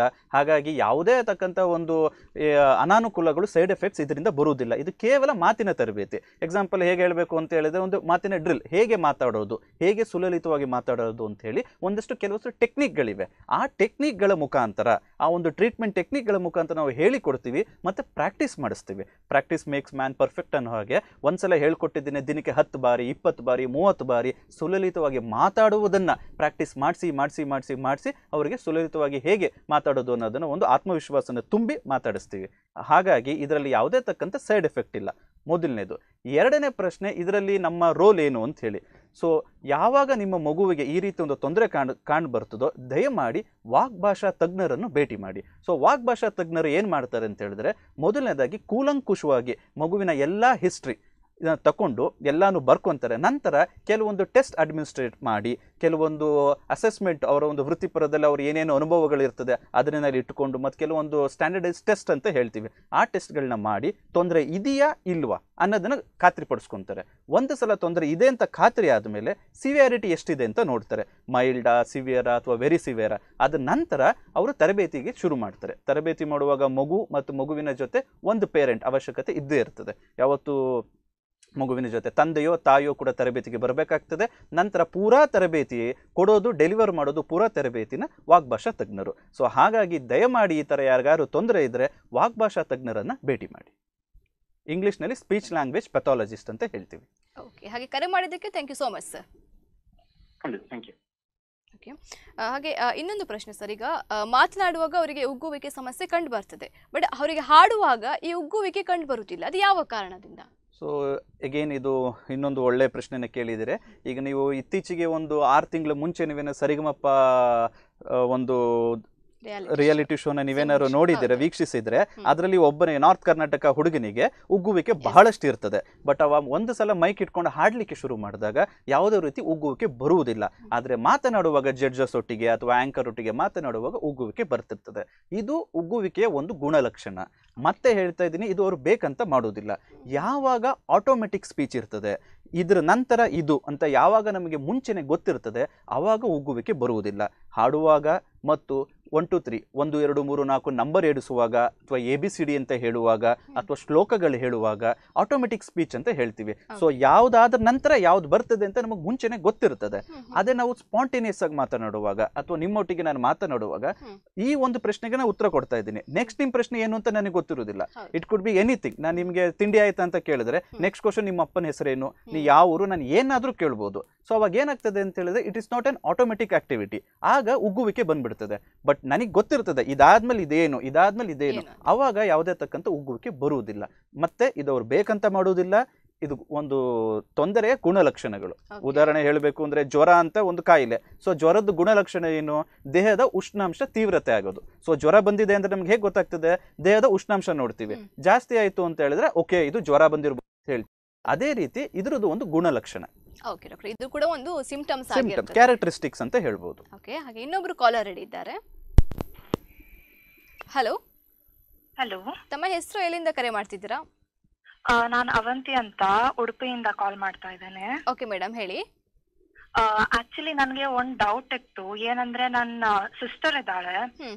ಅವಳು ಮಾತಾಡುವಾಗ ತುಂಬಾ ಫಾಸ್ಟ್ ಆಗಿ ಮಾತಾಡ್ತಾ ಮಾತಾಡ್ತಾ ಆಮೇಲೆ ತೊದಲ್ಲಿಕ್ಕೆ ಸ್ಟಾರ್ಟ್ ಮಾಡ್ತಾಳೆ. ಅಂದ್ರೆ ಅವಳು ಮಾತಾಡೋದು ಕ್ಲಿಯರ್ ಆಗಿ ನಮ್ಗೆ ಕೇಳಿಸುದಿಲ್ಲ. ಅಂದ್ರೆ ಅವಳು ಏನ್ ಹೇಳ್ತಾಳಂತ ಅರ್ಥ ಆಗುದಿಲ್ಲ. ಅವಳಿಗೆ ರಿಪೀಟ್ ಮಾಡು ಅಂತ ಹೇಳ್ಬೇಕಾಗ್ತದೆ. ಓಕೆ ಅದಕ್ಕೆ ಏನಾದ್ರೂ ಪರಿಹಾರ ಇದೆಯಾ? ಅಂದ್ರೆ ಹೇಗೆ ಏನ್ ಮಾಡ್ಬೇಕು ಅಂತ. ಓಕೆ ಡಾಕ್ಟರ್ ಹೇಳ್ತಾರೆ. ಕೇಳಿಸ್ಕೊಳ್ಳಿ. ಕೆಲವೊಬ್ರಿಗೆ ಏನಾಗ್ತದೆ ಅಂತ ಹೇಳಿದ್ರೆ ಈ ಒಂದು ಸುಲಲಿತ ಮಾತನಾಡುವ ತೊಂದರೆಗಳಲ್ಲಿ ಇದು ಇವ್ರು ಹೇಳ್ತಾ ಇರೋದು ಮೋಸ್ಟ್ ಪ್ರಾಬಬ್ಲಿ ಕ್ಲಟರಿಂಗ್ ಅಂತ ಕರಿತೀವಿ. ಏನಂತ ಹೇಳಿದ್ರೆ ಅಲ್ಲೂ ಕೂಡ ಒಂದು ಡಿಸ್ಫ್ಲೂಯೆನ್ಸೀಸ್ ಒಂದು ಬ್ರೇಕ್ ಡೌನ್ ಇದ್ದೇ ಇರುತ್ತದೆ ಉಗ್ಗುವಿಕೆ ಅಲ್ಲೂ ಬರ್ತದೆ. ಆದರೆ ಅವರು ಬಹಳಷ್ಟು ವೇಗವಾಗಿ ಮಾತನಾಡ್ತಿರ್ತಾರೆ. ಮತ್ತು ಆ ವೇಗ ಎಷ್ಟಿರ್ತದೆ ಅಂತ ಹೇಳಿದ್ರೆ ಎದುರುಗಡೆ ಇರೋರಿಗೆ ಅವ್ರು ಮಾತನಾಡ್ತಾ ಇರೋದು ಅರ್ಥ ಆಗುದಿಲ್ಲ. ಯಾಕಂದ್ರೆ ಅವ್ರ ವೇಗ ಅಷ್ಟಿರ್ತದೆ. ಅವಾಗ ಏನಾಗ್ತದೆ ಅಂತ ಹೇಳಿದ್ರೆ ಇಂಟೆಲಿಜಿಬಿಲಿಟಿ ಅಂತ ಹೇಳ್ತೀವಿ. ಅವ್ರು ಮಾತನಾಡೋದು ನಮಗೆ ಅರ್ಥ ಆಗೋದಿಲ್ಲ. ಅವ್ರಿಗೆ ನಾವು ರಿಪೀಟ್ ಮಾಡಿ ಅಂತ ಹೇಳಿದ್ರು ಕೂಡ ಅವ್ರು ರಿಪೀಟ್ ಮಾಡ್ತಾರೆ. ಮತ್ತೆ ಅದೆಷ್ಟೇ ವೇಗದಲ್ಲಿ ರಿಪೀಟ್ ಮಾಡ್ತಾರೆ. ಅವಾಗ ಏನಾಗ್ತದೆ ಅಂತ ಅವ್ರು ಮಾತಾಡೋದು ನಮಗೆ ಅರ್ಥ ಆಗೋದಿಲ್ಲ. ಆದರೆ ಇದು ಅವರು ವೇಗವಾಗಿ ನಾ ಮಾತಾಡ್ತಾ ಇದ್ದೀನಿ ಎದುರುಗಡೆ ಇರೋರ್ಗೆ ಅರ್ಥ ಆಗ್ತಾ ಇಲ್ಲ ಅನ್ನೋದು ಅವರಿಗೆ ಗೊತ್ತಿರುವುದಿಲ್ಲ. ಅವರ ಅರಿವಿಗೆ ಬರುವುದಿಲ್ಲ. ಬರುವುದಿಲ್ಲ. ಸೊ ಅವ್ರಿಗೆ ಅದು ಗೊತ್ತಾಗದಿರೋದ್ರಿಂದ ಏನ್ ಮಾಡ್ತಾರೆ? ಇನ್ನಷ್ಟು ಇನ್ನಷ್ಟು ಸ್ಪೀಡ್ ಆಗಿ ಮಾತಾಡ್ತಾ ಹೋಗ್ತಿರ್ತಾರೆ. ಸೊ ಅವಾಗ ಇದಕ್ಕೆ ನಾವು ಕ್ಲಟ್ರಿಂಗ್ ಅಂತ ಕರಿತೀವಿ ಇಂಗ್ಲಿಷ್ನಲ್ಲಿ. ಇದಕ್ಕೂ ಸಹ ನಮ್ಮಲ್ಲಿ ಎವಲ್ಯೂಷನ್ ಆಗ್ಬೋದು ಟ್ರೀಟ್ಮೆಂಟ್ ಆಗ್ಬೋದು ಸಹ ಇದೆ. ಇದಕ್ಕೂ ಕೂಡ ಬಹಳಷ್ಟು ಸುಧಾರಿಸ್ಬೋದು ಈ ತೊಂದರೆನೂ ಕೂಡ. ದಯಮಾಡಿ ನೀವು ವಾಗ್ಭಾಷಾ ತಜ್ಞರನ್ನ ಸಂಪರ್ಕಿಸಿ ಅವರುಗಳಿಂದ ಸ- ಸೂಕ್ತ ಸಲಹೆಗಳನ್ನು ಪಡೆದುಕೊಳ್ಳಿ. ಥ್ಯಾಂಕ್ ಯು ಸರ್ ಓಕೆ ಹಾಗೆ ಈ ಉಗ್ಗುವಿಕೆ ಸಮಸ್ಯೆ ಕಂಡು ಬಂದಾಗ ನಾವು ಯಾವ ಹಂತದಲ್ಲಿ ಡಾಕ್ಟ್ರನ್ನ ಭೇಟಿಯಾಗಬೇಕು? ಸೊ ಇದೊಂದು ಬಹಳಷ್ಟು ಒಳ್ಳೆ ಪ್ರಶ್ನೆ. ಯಾಕಂತ ಹೇಳಿದ್ರೆ ಎರಡೂವರೆ ವರ್ಷ ಇರುತ್ತೆ ಒಂದು ಮಗು. ಆಗ್ತಾನೆ ಮಾತಾಡ್ಲಿಕ್ಕೆ ಶುರು ಮಾಡಿರುತ್ತೆ. ಅಪ್ಪ ಅಮ್ಮ ಅಣ್ಣ ಅಜ್ಜಿ ಅಕ್ಕ ಎರಡೆರಡು ಪದದಲ್ಲಿ ಮಾತಾಡ್ಲಿಕ್ಕೆ ಶುರು ಮಾಡಿರುತ್ತೆ ಮಗು. ಆವಾಗ ಏನಾದರೂ ಒಂದು ಕೆಲವೊಂದು ಬಾರಿ ಆದರೂ ಸಹ ನಿಮಗೆ ಈ ರೀತಿ ಒಂದು ತೊಂದರೆ ಕಂಡು ಬಂದಲ್ಲಿ ದಯಮಾಡಿ ವಿಳಂಬ ಮಾಡಬೇಡಿ. ಯಾಕಂತ ಹೇಳಿದ್ರೆ ಕರ್ಕೊಂಡ್ಬಂದು ನಮ್ಮಲ್ಲಿ ತೋರ್ಸೋದ್ರಿಂದ ಏನು ಒಂದು ಅನಾಹುತ ಇಲ್ಲ. ಸುಮಾರು ಒಂದು ಎರಡು ಗಂಟೆ ಟೈಮ್ ನಿಮ್ದು ವ್ಯಯಿಸ್ಬೇಕೇ ಹೊರತು. ಆ ಎರಡು ಗಂಟೆ ಬಿಟ್ರೆ ಇನ್ನೆಂತ ಅದರಿಂದ ಅನಾನುಕೂಲಗಳು ಏನಿಲ್ಲ. ಮತ್ತೆ ನಿಮ್ಮ ಬಳಿನೇ ಇದೆ. ಸೊ ಕೆ ಆಸ್ಪತ್ರೆಯಲ್ಲಿ ಇರೋದ್ರಿಂದ ದಯಮಾಡಿ ಆ ಮಗುನ ನಮ್ಮ ಬಳಿ ಆದಷ್ಟು ಬೇಗ ಕರ್ಕೊಂಡ್ಬನ್ನಿ ತೊಂದರೆ ಇತ್ತಾ? ನಾವು ತರಬೇತಿ ಶುರು ಮಾಡ್ತೀವಿ. ಅಥವಾ ನಿಮಗೆ ಹೇಳಿಕೊಡ್ತೀವಿ ತಂದೆ ತಾಯಿಗಳ ಪಾತ್ರ ಏನು ಅಂತ. ನಿಮಗೆ ಅದನ್ನ ಸರಿ ಮಾಡಬೇಕು ಅಂತ ಇರುತ್ತೆ. ಬಟ್ ಹೇಗೆ ಸರಿ ಮಾಡಬೇಕು ಯಾವ ರೀತಿ ಸರಿ ಮಾಡಬೇಕು ಮತ್ತೆ ಹೇಗೆ ನಾವು ಈ ಹಾದಿಲಿ ಮುಂದುವರಿಬೇಕು ಗೊತ್ತಿರೋದಿಲ್ಲ. ನಾವು ಮಾರ್ಗದರ್ಶಕರಾಗ್ತೀವಿ ನಿಮಗೆ ಹೇಳಿಕೊಡ್ತೀವಿ. ಸೊ ಹಾಗಾಗಿ ಆದಷ್ಟು ಬೇಗ ನೀವು ನಮ್ಮ ಒಂದು ಸಂಸ್ಥೆಗೆ ಕರ್ಕೊಂಡ್ ಬಂದ್ರೆ ಒಳ್ಳೇದು ಚೆನ್ನಾಗಿತ್ತು ಮಗುಗೆ ಏನು ತೊಂದರೆ ಇಲ್ಲ ಅಂತ ಹೇಳಿದ್ರೆ we will counsel you and send you back ಇತ್ತು ಅಂತ ಹೇಳಿದ್ರೆ we will enrol for therapy okay doctor ಹಾಗೆ ಇನ್ನೊಬ್ರು ಕಾಲರ್ ಇದ್ದಾರೆ ಅವ್ರ ಜೊತೆ ಮಾತಾಡೋಣ. ಹಲೋ ಹಲೋ ಹಲೋ ನಮಸ್ತೆ ತಮ್ಮ ಹೆಸರು? ಶುಭ ಅಂತ. ಓಕೆ ಶುಭ ಅವರ ಹೇಳಿ. ನಮ್ ಪಕ್ಕದ ಮನೆಯಲ್ಲಿ ಒಂದು ಹುಡುಗ ಇದ್ದಾನೆ. ಅವನಿಗೆ ಈ ತರ ಪ್ರಾಬ್ಲಮ್ ಇದೆ. ಓಕೆ. ಬಟ್ ನನ್ನ ಮಗುನು ಅವ್ರ ಜೊತೆನೆ ಇರುತ್ತೆ ಯಾವಾಗ್ಲೂ. ಸೊ ಇವಾಗ ನನ್ ಮಗುಗೂ ಆ ತರ ಬರೋ ತರ ಕಾಣ್ತಾ ಇದೆ. ಇವಾಗ ಏನ್ ಮಾಡ್ಬೇಕು ಅಂತ ಗೊತ್ತಾಗ್ಬೇಕಿತ್ತು ನಂಗೆ. ಓಕೆ ನಿಮ್ಮ ಮಗುವಿಗೂ ಕೂಡ ಅದೇ ರೀತಿ ಬರುವ ತರ ಕಾಣ್ತಾ ಉಂಟು. ಹೌದು. ಓಕೆ. ಸೊ ಕೆಲವೊಮ್ಮೆ ಏನಾಗ್ತದೆ ಅಂತ ಹೇಳಿದ್ರೆ ಇವಾಗ ನಾವು ನೋಡಿ ಕಲಿಯುವಂಥದ್ದು ಇರ್ತದೆ. ಸೊ ಒಂದು ಸಲ ಮೆದುಳು ಬೆಳವಣಿಗೆ ಆದಮೇಲೆ ಹದಿನೆಂಟು ಆದಮೇಲೆ ಅಷ್ಟು ನಾವು ಬೇರೆಯವರಿಂದ ಪ್ರಭಾವಿತರಾಗೋದು ಕಮ್ಮಿ ಇರ್ತದೆ. ಈಗ ನಾನು ನಿಮ್ಮ ಬಳಿ ಒನ್ ಅವರ್ ಮಾತಾಡಿದ್ರು ಕೂಡ ನೀವು ಎಷ್ಟೇ ತೊದಲಿದ್ರು ಕೂಡ ನಾನು ನಿಮ್ಮನ್ನ ಇಮಿಟೇಟ್ ಮಾಡೋದಿಲ್ಲ ಅಥವಾ ಕಾಪಿ ಮಾಡೋದಿಲ್ಲ. ಸೊ ನನ್ನ ಒಂದು ಸ್ಥಿರತೆ ನನ್ನಲ್ಲಿ ಇರ್ತದೆ. ಬಟ್ ಕೆಲವೊಂದು ಸಲ ಏನಾಗ್ತದೆ ಅಂತಂದ್ರೆ ಚಿಕ್ಕ ಮಕ್ಕಳು ಇನ್ನೂ ಅವರು ಬೆಳವಣಿಗೆ ಹಂತದಲ್ಲಿ ಇರ್ತಾರೆ ಇನ್ನು ಕಲಿಕಾ ಸಮಯದಲ್ಲಿ ಇರ್ತಾರೆ. ಕೆಲವೊಮ್ಮೆ ಏನಾಗ್ತದೆ ಅಣುಕ ಪ್ರದರ್ಶನ ಮಾಡೋದು ಅಥವಾ ಬೇರೆಯವ್ರನ್ನ ಇಮಿಟೇಟ್ ಮಾಡೋದು ಮಾಡ್ಲಿಕ್ಕೆ ಶುರು ಮಾಡಿರ್ತಾರೆ. ಅವಾಗ ಇನ್ನು ಡೆವಲಪಿಂಗ್ ಪ್ರೋಸೆಸ್ ಅಲ್ಲಿ ಇರೋದ್ರಿಂದ ಅವ್ರನ್ನ ನೋಡಿ ನೋಡಿ ನೋಡಿ ಕಲಿಯೋ ಸಾಧ್ಯತೆ ಕೂಡ ಇರ್ತದೆ. ಅಥವಾ ಇಮಿಟೇಟ್ ಮಾಡಕ್ ಹೋದಾಗ ಅಥವಾ ಅವರಂತೆಯೇ ನಕಲು ಮಾಡಕ್ ಹೋದಾಗ ಆ ಒಂದು ತೊಂದರೆನ ಕ್ಯಾಚ್ ಮಾಡುವಂತ ಒಂದು ಸಂದರ್ಭನೂ ಇರ್ತದೆ ಹಾಗಾಗಿ ನಾವೇನ್ ಮಾಡಬೇಕು ಅಂತ ಹೇಳಿದ್ರೆ ಆದಷ್ಟು ಅವನ ಅದನ್ನ ನಕಲು ಮಾಡಬಾರದು ಇಮಿಟೇಟ್ ಮಾಡಬಾರದು ಅಥವಾ ಅವನಂತನೇ ಒಂದು ಅನುಕರಣೆ ಮಾಡಬಾರದು ಅಂತ ಅವನಿಗೆ ಹೇಳಿ ಅಕಸ್ಮಾತ್ ಏನಾದರೂ ನಿಮಗೆ ಇದು ತೊಂದರೆ ಇದು ಜಾಸ್ತಿ ಆಗ್ತದೆ ಅಂತ ಕಂಡು ಬಂದಲ್ಲಿ ದಯಮಾಡಿ ಸ್ಪೀಚ್ ಲ್ಯಾಂಗ್ವೇಜ್ ಪೆಥಾಲಜಿಸ್ಟ್ನ ಒಮ್ಮೆ ಭೇಟಿ ಮಾಡಿ. ಓಕೆ ಧನ್ಯವಾದಗಳು ಮೇಡಮ್ ಕರೆ ಮಾಡಿದ್ದಕ್ಕೆ. ಓಕೆ ಹಾಗೆ ಈ ಉಗ್ಗುವಿಕೆಯನ್ನ ಔಷಧಿ ಅಥವಾ ಶಸ್ತ್ರಚಿಕಿತ್ಸೆ ಇದ್ರ ಮೂಲಕ ಗುಣಪಡಿಸಬಹುದಾ ಅಥವಾ ಮಾತಿನಿಂದಲೇ ಗುಣಪಡಿಸಬಹುದು ಮುಂಚೆನೆ ಹೇಳ್ದಾಗೆ ಒಂದು ಕಾಲರ್ ಅವ್ರು ಕೇಳ್ದಾಗೆ ಇದು ಶಸ್ತ್ರಚಿಕಿತ್ಸೆಯಿಂದ ಆಗಲಿ ಅಥವಾ ಔಷಧಿಯಿಂದ ಆಗಲಿ ಬೆಳವಣಿಗೆ ಹಂತದಲ್ಲಿ ಕಂಡು ಬಂದಂಥ ಉಗ್ಗುವಿಕೆಯನ್ನ ಸರಿ ಮಾಡಲಿಕ್ಕೆ ಆಗುದಿಲ್ಲ. ಅನ್ಲೆಸ್ ಅನ್ ಅಂಟಿಲ್ ಅದೇನಾದ್ರೂ ಆಪರೇಷನ್ ಆಗಬೇಕು ಅಂತ ಹೇಳಿದ್ರೆ ಈ ಟ್ರಾಮಾ ಸರ್ಜರಿ ಆದಾಗ ಅಥವಾ ಒಂದು ಆಕ್ಸಿಡೆಂಟ್ ಆದಾಗ ಅಥವಾ ಒಂದು ಸ್ಟ್ರೋಕ್ ಲಕ್ವ ಹೊಡೆಯೋದು ಅಂತ ಹೇಳ್ತೀವಿ. ಆ ತರ ಆದಾಗ ಮಾತ್ರ ಉಗ್ಗುವಿಕೆ ಕಂಡು ಬಂದಾಗ ಆ ಒಂದು ತೊಂದರೆಗೆ ನಾವು ಮೆಡಿಕಲ್ ಲೈನ್ ಆಫ್ ಟ್ರೀಟ್ಮೆಂಟ್ಗೆ ಹೋಗ್ತೀವಿ. ಆಗ ನಾವು ಮೆಡಿಕಲ್ ಲೈನ್ ಆಫ್ ಟ್ರೀಟ್ಮೆಂಟ್ ಕೊಟ್ಟಾಗ ಉಗುವಿಕೆ ಕೂಡ ಕಮ್ಮಿ ಬರ್ತದೆ ಅದು ದೊಡ್ಡವರಲ್ಲಿ. ಆದ್ರೆ ಚಿಕ್ಕ ವಯಸ್ಸುಗಳ ಬೆಳವಣಿಗೆ ಹಂತದಲ್ಲಿ ಯಾವುದೇ ಕಾರಣ ಇಲ್ಲದೆ ಬಂದತಕ್ಕಂಥ ಉಗ್ಗುವಿಕೆಗೆ ಔಷಧಿಯಿಂದಾಗ್ಲಿ ಅಥವಾ ಆಪರೇಷನ್ ಇಂದಾಗ್ಲಿ ಸರಿ ಮಾಡ್ಲಿಕ್ಕೆ ಆಗುದಿಲ್ಲ. ಮಾತಿನ ತರಬೇತಿಯಿಂದ ಮಾತ್ರ. ಓಕೆ ಡಾಕ್ಟರ್ ಹಾಗೆ ಇನ್ನೊಬ್ರು ಕಾಲರ್ ರೆಡಿ ಇದ್ದಾರೆ ಅವ್ರ ಜೊತೆ ಮಾತಾಡೋಣ. ಹಲೋ ಹಲೋ ನಮಸ್ತೆ. ನಮಸ್ತೆ ನಾನು ಮೈಸೂರಿಂದ ಮಾತಾಡೋದು. ಓಕೆ ತಮ್ಮ ಹೆಸರು? ಶಿವಸುಬ್ರಹ್ಮಣ್ಯಂ ಅಂತ. ಶಿವಸುಬ್ರಹ್ಮಣ್ಯಂ ಅಂತ. ಸರಿ ಹೇಳಿ. ಈ ಉಗ್ಗುವಿಕೆ ಪ್ರಾದೇಶಿಕವಾಗಿ ಎಲ್ಲಾ ಕಡೆಗೂ ಒಂದೇ ತರ ಇರುತ್ತಾ? ಒಂದ್ ಪ್ರದೇಶದಲ್ಲಿ ಜಾಸ್ತಿ ಇರ್ಬೋದಾ ಅಂತ? ಓಕೆ ಪ್ರಾದೇಶಿಕವಾಗಿ ಸೇಮ್ ಇರ್ತದ ಅಥವಾ ಜಾಸ್ತಿ ಇರ್ತದ ಕೇಳ್ತಾ ಇದ್ದೀರಾ ನೀವು? ಒಂದು ಪ್ರದೇಶದಲ್ಲಿ ಜಾಸ್ತಿ ಇರುತ್ತೆ? ಇನ್ನೊಂದು ಪ್ರದೇಶದಲ್ಲಿ ಕಡಿಮೆ ಇರುತ್ತೆ? ಆಲ್ ಓವರ್ ದಿ ವರ್ಲ್ಡ್ ಅಥವಾ ಆಲ್ ಓವರ್ ದಿ ವರ್ಲ್ಡ್ ಎಲ್ಲ ಕಡೆ ಒಂದೇ ತರ ಇರುತ್ತಾ ಅಂತ? ಓಕೆ ಈ ಒಂದು ಉಗ್ಗುವಿಕೆ ಪ್ರಪಂಚದಾದ್ಯಂತ ಇದೆ. ಯಾವ ಒಂದು ಕಾಂಟಿನೆಂಟ್ ಆಗಲಿ ಯಾವುದೋ ಒಂದು ದೇಶನ ಇದು ಬಿಟ್ಟಿಲ್ಲ. ಸೊ ಪ್ರತಿಯೊಬ್ಬರು ಪ್ರತಿಯೊಂದು ದೇಶದಲ್ಲೂ ಕೂಡ ಈ ಒಂದು ಉಗ್ಗುವಿಕೆ ಕಂಡು ಬರ್ತದೆ. ಮತ್ತೆ ಅದು ಯಾವುದೇ ತಕ್ಕಂಥ ಭೇದ ಭಾವ ಇಲ್ಲ. ಯಾವುದೇ ತಕ್ಕಂಥ ಒಂದು ತೀವ್ರತೆಯಲ್ಲೂ ಕೂಡ ಎಲ್ಲ ದೇಶದ ಪ್ರಜೆಗಳಲ್ಲೂ ಕೂಡ ಈ ರೀತಿಯಾದ ತೊಂದರೆ ಕಂಡು ಬಂದಿದೆ. ಈಗ ನಾನು ಎಕ್ಸಾಂಪಲ್ ಹೇಳಿದಾಗೆ ಸರ್ ಐಸಾಕ್ ನ್ಯೂಟನ್ ಆಗಿರ್ಬೋದು ಅಥವಾ ಅರಿಸ್ಟೋಟಲ್ ಆಗಿರ್ಬೋದು ಅವ್ರಗಳಿಗೂ ಕೂಡ ಈ ತೊಂದರೆ ಇದೆ. ಹಾಗಂತ ಸೆಲ ಸೆಲೆಬ್ರಿಟಿಗಳು ಈಗ ಮಿಸ್ಟರ್ ಬೀನ್ ಅಂತ ನೀವು ಕೇಳಿರ್ತೀವಿ Rowan Atkinson. So mister Bean ಬಹಳಷ್ಟು ಪ್ರಖ್ಯಾತರು ಅವರು ಕಾಮಿಡಿಯನ್ನು ಅವ್ರಿಗೂ ಕೂಡ ಉಗುವಿಕೆ ತೊಂದರೆ ಇದೆ ಅಥವಾ ರಿತಿಕ್ ರೋಷನ್ ಆಗಿರ್ಬೋದು ಈ ರೀತಿ ಹೇಳ್ತಾ ಹೋದ್ರೆ ಸೆಲೆಬ್ರಿಟಿದು ಒಂದು ದೊಡ್ಡ ಲಿಸ್ಟೇ ಇದೆ. ಸೊ ಭಾರತದಲ್ಲಿ ದೇಶ ಮತ್ತು ಪರದೇಶದಲ್ಲೂ ಕೂಡ ಈ ರೀತಿಯ ತೊಂದರೆಗಳು ಕಂಡು ಬರ್ತದೆ okay thank you so much sir ಕರೆ ಮಾಡಿದ್ದಕ್ಕೆ. ಹಾಗೆ ಸರ್ ಈ ಸಮಸ್ಯೆಯನ್ನ ಸರಿಪಡಿಸಲಿಕ್ಕೆ ಒಟ್ಟು ಎಷ್ಟು ಟೈಮ್ ಬೇಕಾಗ್ತದೆ ಅನ್ನುವಂಥದ್ದು? ಹಾಗೆ ಮಾತಿನ ತರಬೇತಿಯಿಂದ ನೀವು ಸರಿಪಡಿಸ್ತೀರಾ ಅಂತ ಹೇಳಿದ್ರೆ ಸೊ ಡೀಟೇಲ್ಡ್ ಆಗಿ ಹೇಳ್ಬೋದಾ? ಹೇಗಿರ್ತದೆ ತರಬೇತಿ ಸೊ ಮಾತಿನ ತರಬೇತಿಯಿಂದ ನಾವು ಸರಿಪಡಿಸುವಾಗ ಏನಾಗ್ತದೆ ಅಂತ ಹೇಳಿದ್ರೆ ಅದು ಸಮಯ ಎಷ್ಟು ಕಾಲಾವಕಾಶ ಬೇಕಾಗ್ತದೆ ಅದು ಮಗುವಿನ ವಯಸ್ಸಿನ ಮೇಲೆ ಅವಲಂಬಿತರಾಗಿರ್ತಾರೆ. ಯಾಕಂದ್ರೆ ಚಿಕ್ಕ ವಯಸ್ಸಿನಲ್ಲಿ ಎರಡೂವರೆ ವರ್ಷ ಮೂರು ವರ್ಷದಲ್ಲೇ ನಾವು ಕಂಡುಹಿಡಿದು early identification is better always ಚಿಕ್ಕ ವಯಸ್ಸಲ್ಲೇ ನಾವು ಕಂಡುಹಿಡಿದು ಮಾತಿನ ತರಬೇತಿ ಶುರು ಮಾಡಿದ್ರೆ ಒಂದು ಹದಿನೈದರಿಂದ ಇಪ್ಪತ್ತು ಸೆಷನ್ ಒಳಗಡೆ ನಾವು ಮಗುವಿಗೆ ಸುಲಲಿತವಾಗಿ ಮಾತಾಡಲಿಕ್ಕೆ ಶುರು ಮಾಡಿಸ್ಬೋದು. ಮತ್ತೆ ಅದು ಕ್ವಾಲಿಟಿ ಆಫ್ ಸ್ಪೀಚ್ ಅದು ಬಹಳಷ್ಟು ದಿನ ಹಾಗೆ ಸುಲಲಿತವಾಗಿ ಮಾತಾಡುತ್ತೆ ಕೂಡ ಮಗು. ಬಹಳಷ್ಟು ಕಮ್ಮಿ ಕಾಲಾವಕಾಶದಲ್ಲಿ ಬಹಳಷ್ಟು ಚೆನ್ನಾಗಿ ಮಾತನಾಡಿಸ್ಬೋದು ಮಕ್ಕಳಾದರೆ. ಅದೇ ನಾವು ಅದು ನೆಕ್ಸ್ಟ್ ಗೋಯಿಂಗ್ ಚಿಲ್ಡ್ರನ್ ಅಂತ ಹೇಳ್ತೀವಿ.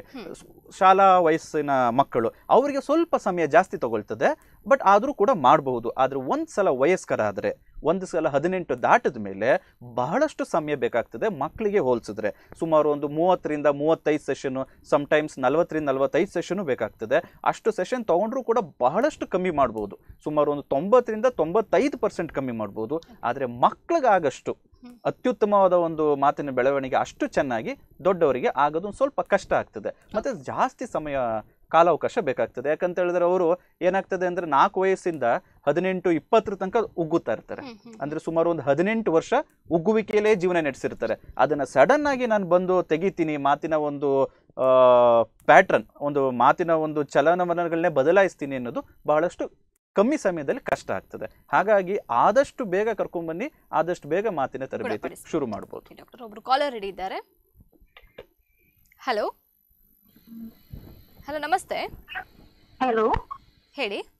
ಹಾ ಹಾ. ಆ, ನನ್ನ ಹೆಸರು ಅವಂತಿಕಾ ನಾವು ಉಡುಪಿಯಲ್ಲಿ ಕಾಲ್ ಮಾಡ್ತೀವಿ. ಓಕೆ. ಆ, ನಾನು ನಿಮ್ಮ ಇಂಟರ್ವ್ಯೂ ನೋಡ್ತಾ ಇದೆ ಆ, ಇದು ನನ್ನ ಫ್ರೆಂಡ್ ಇದು ಮಗಳು ನಾಲ್ಕು ವರ್ಷ. ಹ್ಮ್. ಅವಳು ಅವಳು ಮಾತಾಡುವಾಗ ಸ್ಟಟ್ರಿಂಗ್ ಉಂಟು. ಹ್ಮ್. ಆ, ಅವಳು ಕ್ಲಾಸಿಕಲ್ ನ್ಯೂಸ್ ಕ್ಲಾಸ್ ಹೋಗಿದ್ದಾಳೆ. ಸಾಂಗ್ ಆಡುವಾಗ ಏನು ಪ್ರಾಬ್ಲಮ್ ಇಲ್ಲ. ಮಾತಾಡುವಾಗ ಮಾತ್ರ ತೊಂದರೆ ಇದೆ. ಯಾಕೆ ಇದು ಹೀಗೆ? ಈಗಾಗಲೇ ಡಿಸ್ಕಸ್ ಮಾಡಿದ್ದೇವೆ ಡಿಸ್ಕಸ್ ಡಾಕ್ಟರ್, ಮಾಡಿದ್ದೇವೆ ಇದು. ಇನ್ನೊಮ್ಮೆ ಉತ್ತರ ಇನ್ನೊಮ್ಮೆ ಉತ್ತರ. ಸಾಂಗ್ ಅಥವಾ ಹಾಡುವಾಗ ಆಟೋಮೆಟಿಕ್ ಸ್ಪೀಚ್ ಇರೋದ್ರಿಂದ ಬರುವುದಿಲ್ಲ. ಇದು ಒಂದು ಗುಣಲಕ್ಷಣ ಇದು. ಸೊ ಅವ್ರಿಗೆ ಗೊತ್ತಿರ್ತದೆ ಯಾವ್ದಾದ್ಮೇಲೆ ಏನ್ ಹೇಳಬೇಕು ಅಂತ. ಹಾಗಾಗಿ ಅವ್ರಿಗೆ ಉಗ್ಗುವಿಕೆ ಬರುವುದಿಲ್ಲ. ಮಾತನಾಡುವಾಗ ಜಾಸ್ತಿ ಇರ್ತದೆ. ಹಾಡು ಹೇಳುವಕ್ಕಿಂತ ಅಥವಾ ಒಂದು ಎರಡು ಮೂರು ಕೌಂಟ್ ಮಾಡುವಾಗ ಎ ಬಿ ಸಿ ಡಿಗಿಂತ ಮಾತನಾಡುವಾಗ ಜಾಸ್ತಿ ಬರ್ತದೆ. ಅದರದ್ದೊಂದು ಗುಣಲಕ್ಷಣ ಇದು. ಓ ಓ ಓ. Okay okay okay. Thank you madam ಏನು ಏನು ಹಲೋ ಹಲೋ ಏನು ತೊಂದ್ರೆ ಇಲ್ಲ ಅದು ಫೈನ್ ಅಲ್ವಾ? ಇಲ್ಲ ಅವ್ರನ್ನ ನೀವು ತರಬೇತಿಗೆ ಕರ್ಕೊಂಡು ಬರಬೇಕು. ಯಾಕಂತ ಹೇಳಿದ್ರೆ ಅವರು ಸುಲಲಿತವಾಗಿ ಮಾತಾಡ್ತಾ ಇಲ್ಲ ಇಲ್ವಾ? ಎಲ್ಲರಂತೆ ನಾಲ್ಕರಂತೆ ಮಾತಾಡಬೇಕು ಅಂತ ಹೇಳಿದ್ರೆ ನೀವು ಅವ್ರನ್ನ ಒಂದ್ಸಲ ನಮ್ಮ ಬಳಿ ಕರ್ಕೊಂಡ್ ಬನ್ನಿ ಕೆ ಎಂ ಸಿ ಆಸ್ಪತ್ರೆಗೆ. ನಾವು ಒಂದ್ಸಲ ಎವ್ಯಾಲ್ಯೂಯೇಟ್ ಮಾಡಿ ಅವ್ರಿಗೆ ತರಬೇತಿ ಅವಶ್ಯಕತೆ ಇದೆ ಅಂತ ಹೇಳಿದ್ರೆ ನಾವು ತರಬೇತಿ ಶುರು ಮಾಡ್ತೀವಿ. ಯಾಕಂತ ಹೇಳಿದ್ರೆ ನಾವು ಯಾವಾಗ್ಲೂ ಹಾಡು ಹೇಳ್ಕೊಂಡೆ ಜೀವನ ಮಾಡೋಕ್ಕಾಗಲ್ಲ ಅಲ್ಲ? ಮಾತಾಡಬೇಕು. ಸೊ ಮಾತನಾಡುವಾಗ ಉಗ್ಗೋಕೆ ಬರ್ತದೆ ಅಂತ ಹೇಳಿದ್ರೆ ಅದಕ್ಕೆ ನಾವು ಪರಿಹಾರ ಕಂಡುಕೊಳ್ಳೇಬೇಕು. Okay thank you thank you ಹಾಗೆ ಸರ್ ನಿಮ್ಮ ಡಿಪಾರ್ಟ್ಮೆಂಟ್ ಬಗ್ಗೆ ತಿಳಿಸ್ಕೊಡ್ಬೇಕು. ಅದೇ ರೀತಿ ಕಸ್ತೂರ್ಬಾ ಆಸ್ಪತ್ರೆ ಮಣಿಪಾಲಕ್ಕೆ ಬಂದಾಗ ಅವರಿಗೆ ಏನೆಲ್ಲ ಫೆಸಿಲಿಟೀಸ್ಗಳು ಉಂಟು? ಅದ್ರ ಬಗ್ಗೆ ಹೇಳಿ. ಸೊ ಕಸ್ತೂರಿಬಾ ಮಣಿಪಾಲ್ ಆಸ್ಪತ್ರೆಗೆ ಬಂದಾಗ ನಮ್ಮಲ್ಲಿ ಏನಂತೇಳಿ department of speech and hearing ಅಂತ ಹೇಳ್ತೀವಿ. ವಾಕ್ ಮತ್ತು ಭಾಷಾ ಮತ್ತು ಶ್ರವಣ ವಿಜ್ಞಾನ ಅಥವಾ ಶ್ರವಣ ವಿಭಾಗ.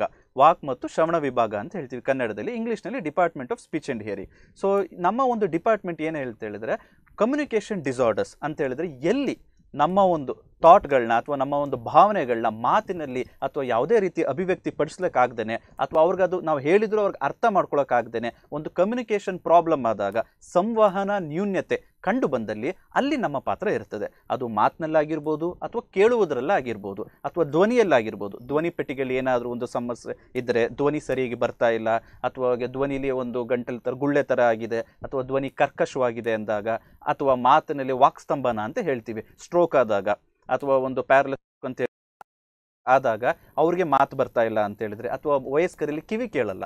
ಕಿವಿ ಕೇಳದಾಗ ಏನಾಗ್ತದೆ ಅಂತ ಹೇಳಿದ್ರೆ ಮಿಷಿನ್ ಕೊಡ್ತೀವಿ. ಸೊ ಎಲ್ಲಿ ಸಂವಹನ ನ್ಯೂನತೆ ಬರ್ತದೆ, ಎಲ್ಲಿ ನಾವು ಆಡಿದ ಮಾತು ನಮ್ಗೆ ಮಾತಾಡ್ಲಿಕ್ಕೆ ಆಗಲ್ಲ ಅಥವಾ ನಾವು ಆಡಿದ್ದು ಬೇರೆಯವ್ರಿಗೆ ಕೇಳಲಿಕ್ಕಾಗಲ್ಲ, ಅರ್ಥ ಮಾಡ್ಕೊಳ್ಳಿಕ್ಕಾಗಲ್ಲ ಸಂವಹನ ಕೊರತೆ ಇದ್ದಾಗ ಅಲ್ಲಿ ನಮ್ಮ ಪಾತ್ರ ಇರ್ತದೆ. ಪೂರಾ ಸಂವಹನ ನ್ಯೂನ್ಯತೆಗೆ ನಮ್ಮ ಡಿಪಾರ್ಟ್ಮೆಂಟ್ ಅವರು ಸದಾ ಸಿದ್ಧರಾಗಿರ್ತಾರೆ. ಎವಲ್ಯೂಷನ್ ಮಾಡಿರೋದ್ರಿಂದ ಆಗಿರ್ಬೋದು ಅಥವಾ ಟ್ರೀಟ್ಮೆಂಟ್ ಕೊಡೋದ್ರಿಂದ ಆಗಿರ್ಬೋದು.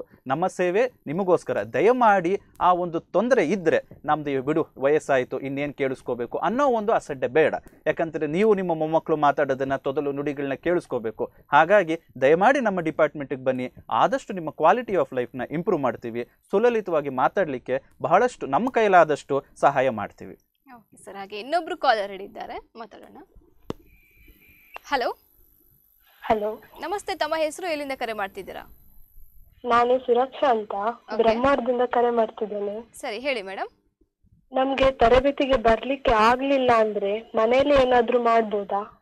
ಓಕೆ ತರಬೇತಿಗೆ ಬರ್ಲಿಕ್ಕೆ ಆಗ್ಲಿಲ್ಲ ಅಂತ ಹೇಳಿದ್ರೆ ಮನೆಯಲ್ಲೇ ಮಾಡಬಹುದು ಅಂತ ಕೇಳ್ತಾ ಇದ್ದೀರಾ? ಡಾಕ್ಟರ್ ಇದಕ್ಕೆ ಉತ್ತರವನ್ನು ಕೊಡಬೇಕು. ಸರಿ, ಅದೇ ಹೇಳಿದ್ವಲ್ಲ, ಒಂದು ಸಲ ಕರ್ಕೊಂಡು ಬರಲೇಬೇಕು. ಫಸ್ಟ್ ಟೈಮ್ ಕರ್ಕೊಂಡ್ಬಂದು ಅಸೆಸ್ಮೆಂಟ್ ಎಲ್ಲ ಮಾಡಿದಾಗ ಏನಾದರೂ ಅವರಿಗೆ ಮಗುಗೆ ಡೈರೆಕ್ಟ್ ಥೆರಪಿ ಅಂತ ಹೇಳ್ತೀವಿ. ಇಲ್ಲ ಎನ್ವಿರಾನ್ಮೆಂಟಲ್ ಚೇಂಜಸ್ ಆ ಮಗು ಎಲ್ಲಿ ಬದುಕ್ತಾ ಇದೆ, ಆ ಒಂದು ಪ್ರಕೃತಿ ಎನ್ವಿರಾನ್ಮೆಂಟ್ನ ನಾವು ಬದಲಾಯಿಸೋದ್ರಿಂದ ಅಪ್ಪ ಅಮ್ಮನಿಗೆ ಡೂಸ್ ಆ್ಯಂಡ್ ಡೋಂಟ್ಸ್ ಅಂತ ಹೇಳ್ತೀವಿ. ಏನೇನು ಮಾಡಬೇಕು, ಏನೇನು ಮಾಡಬಾರ್ದು.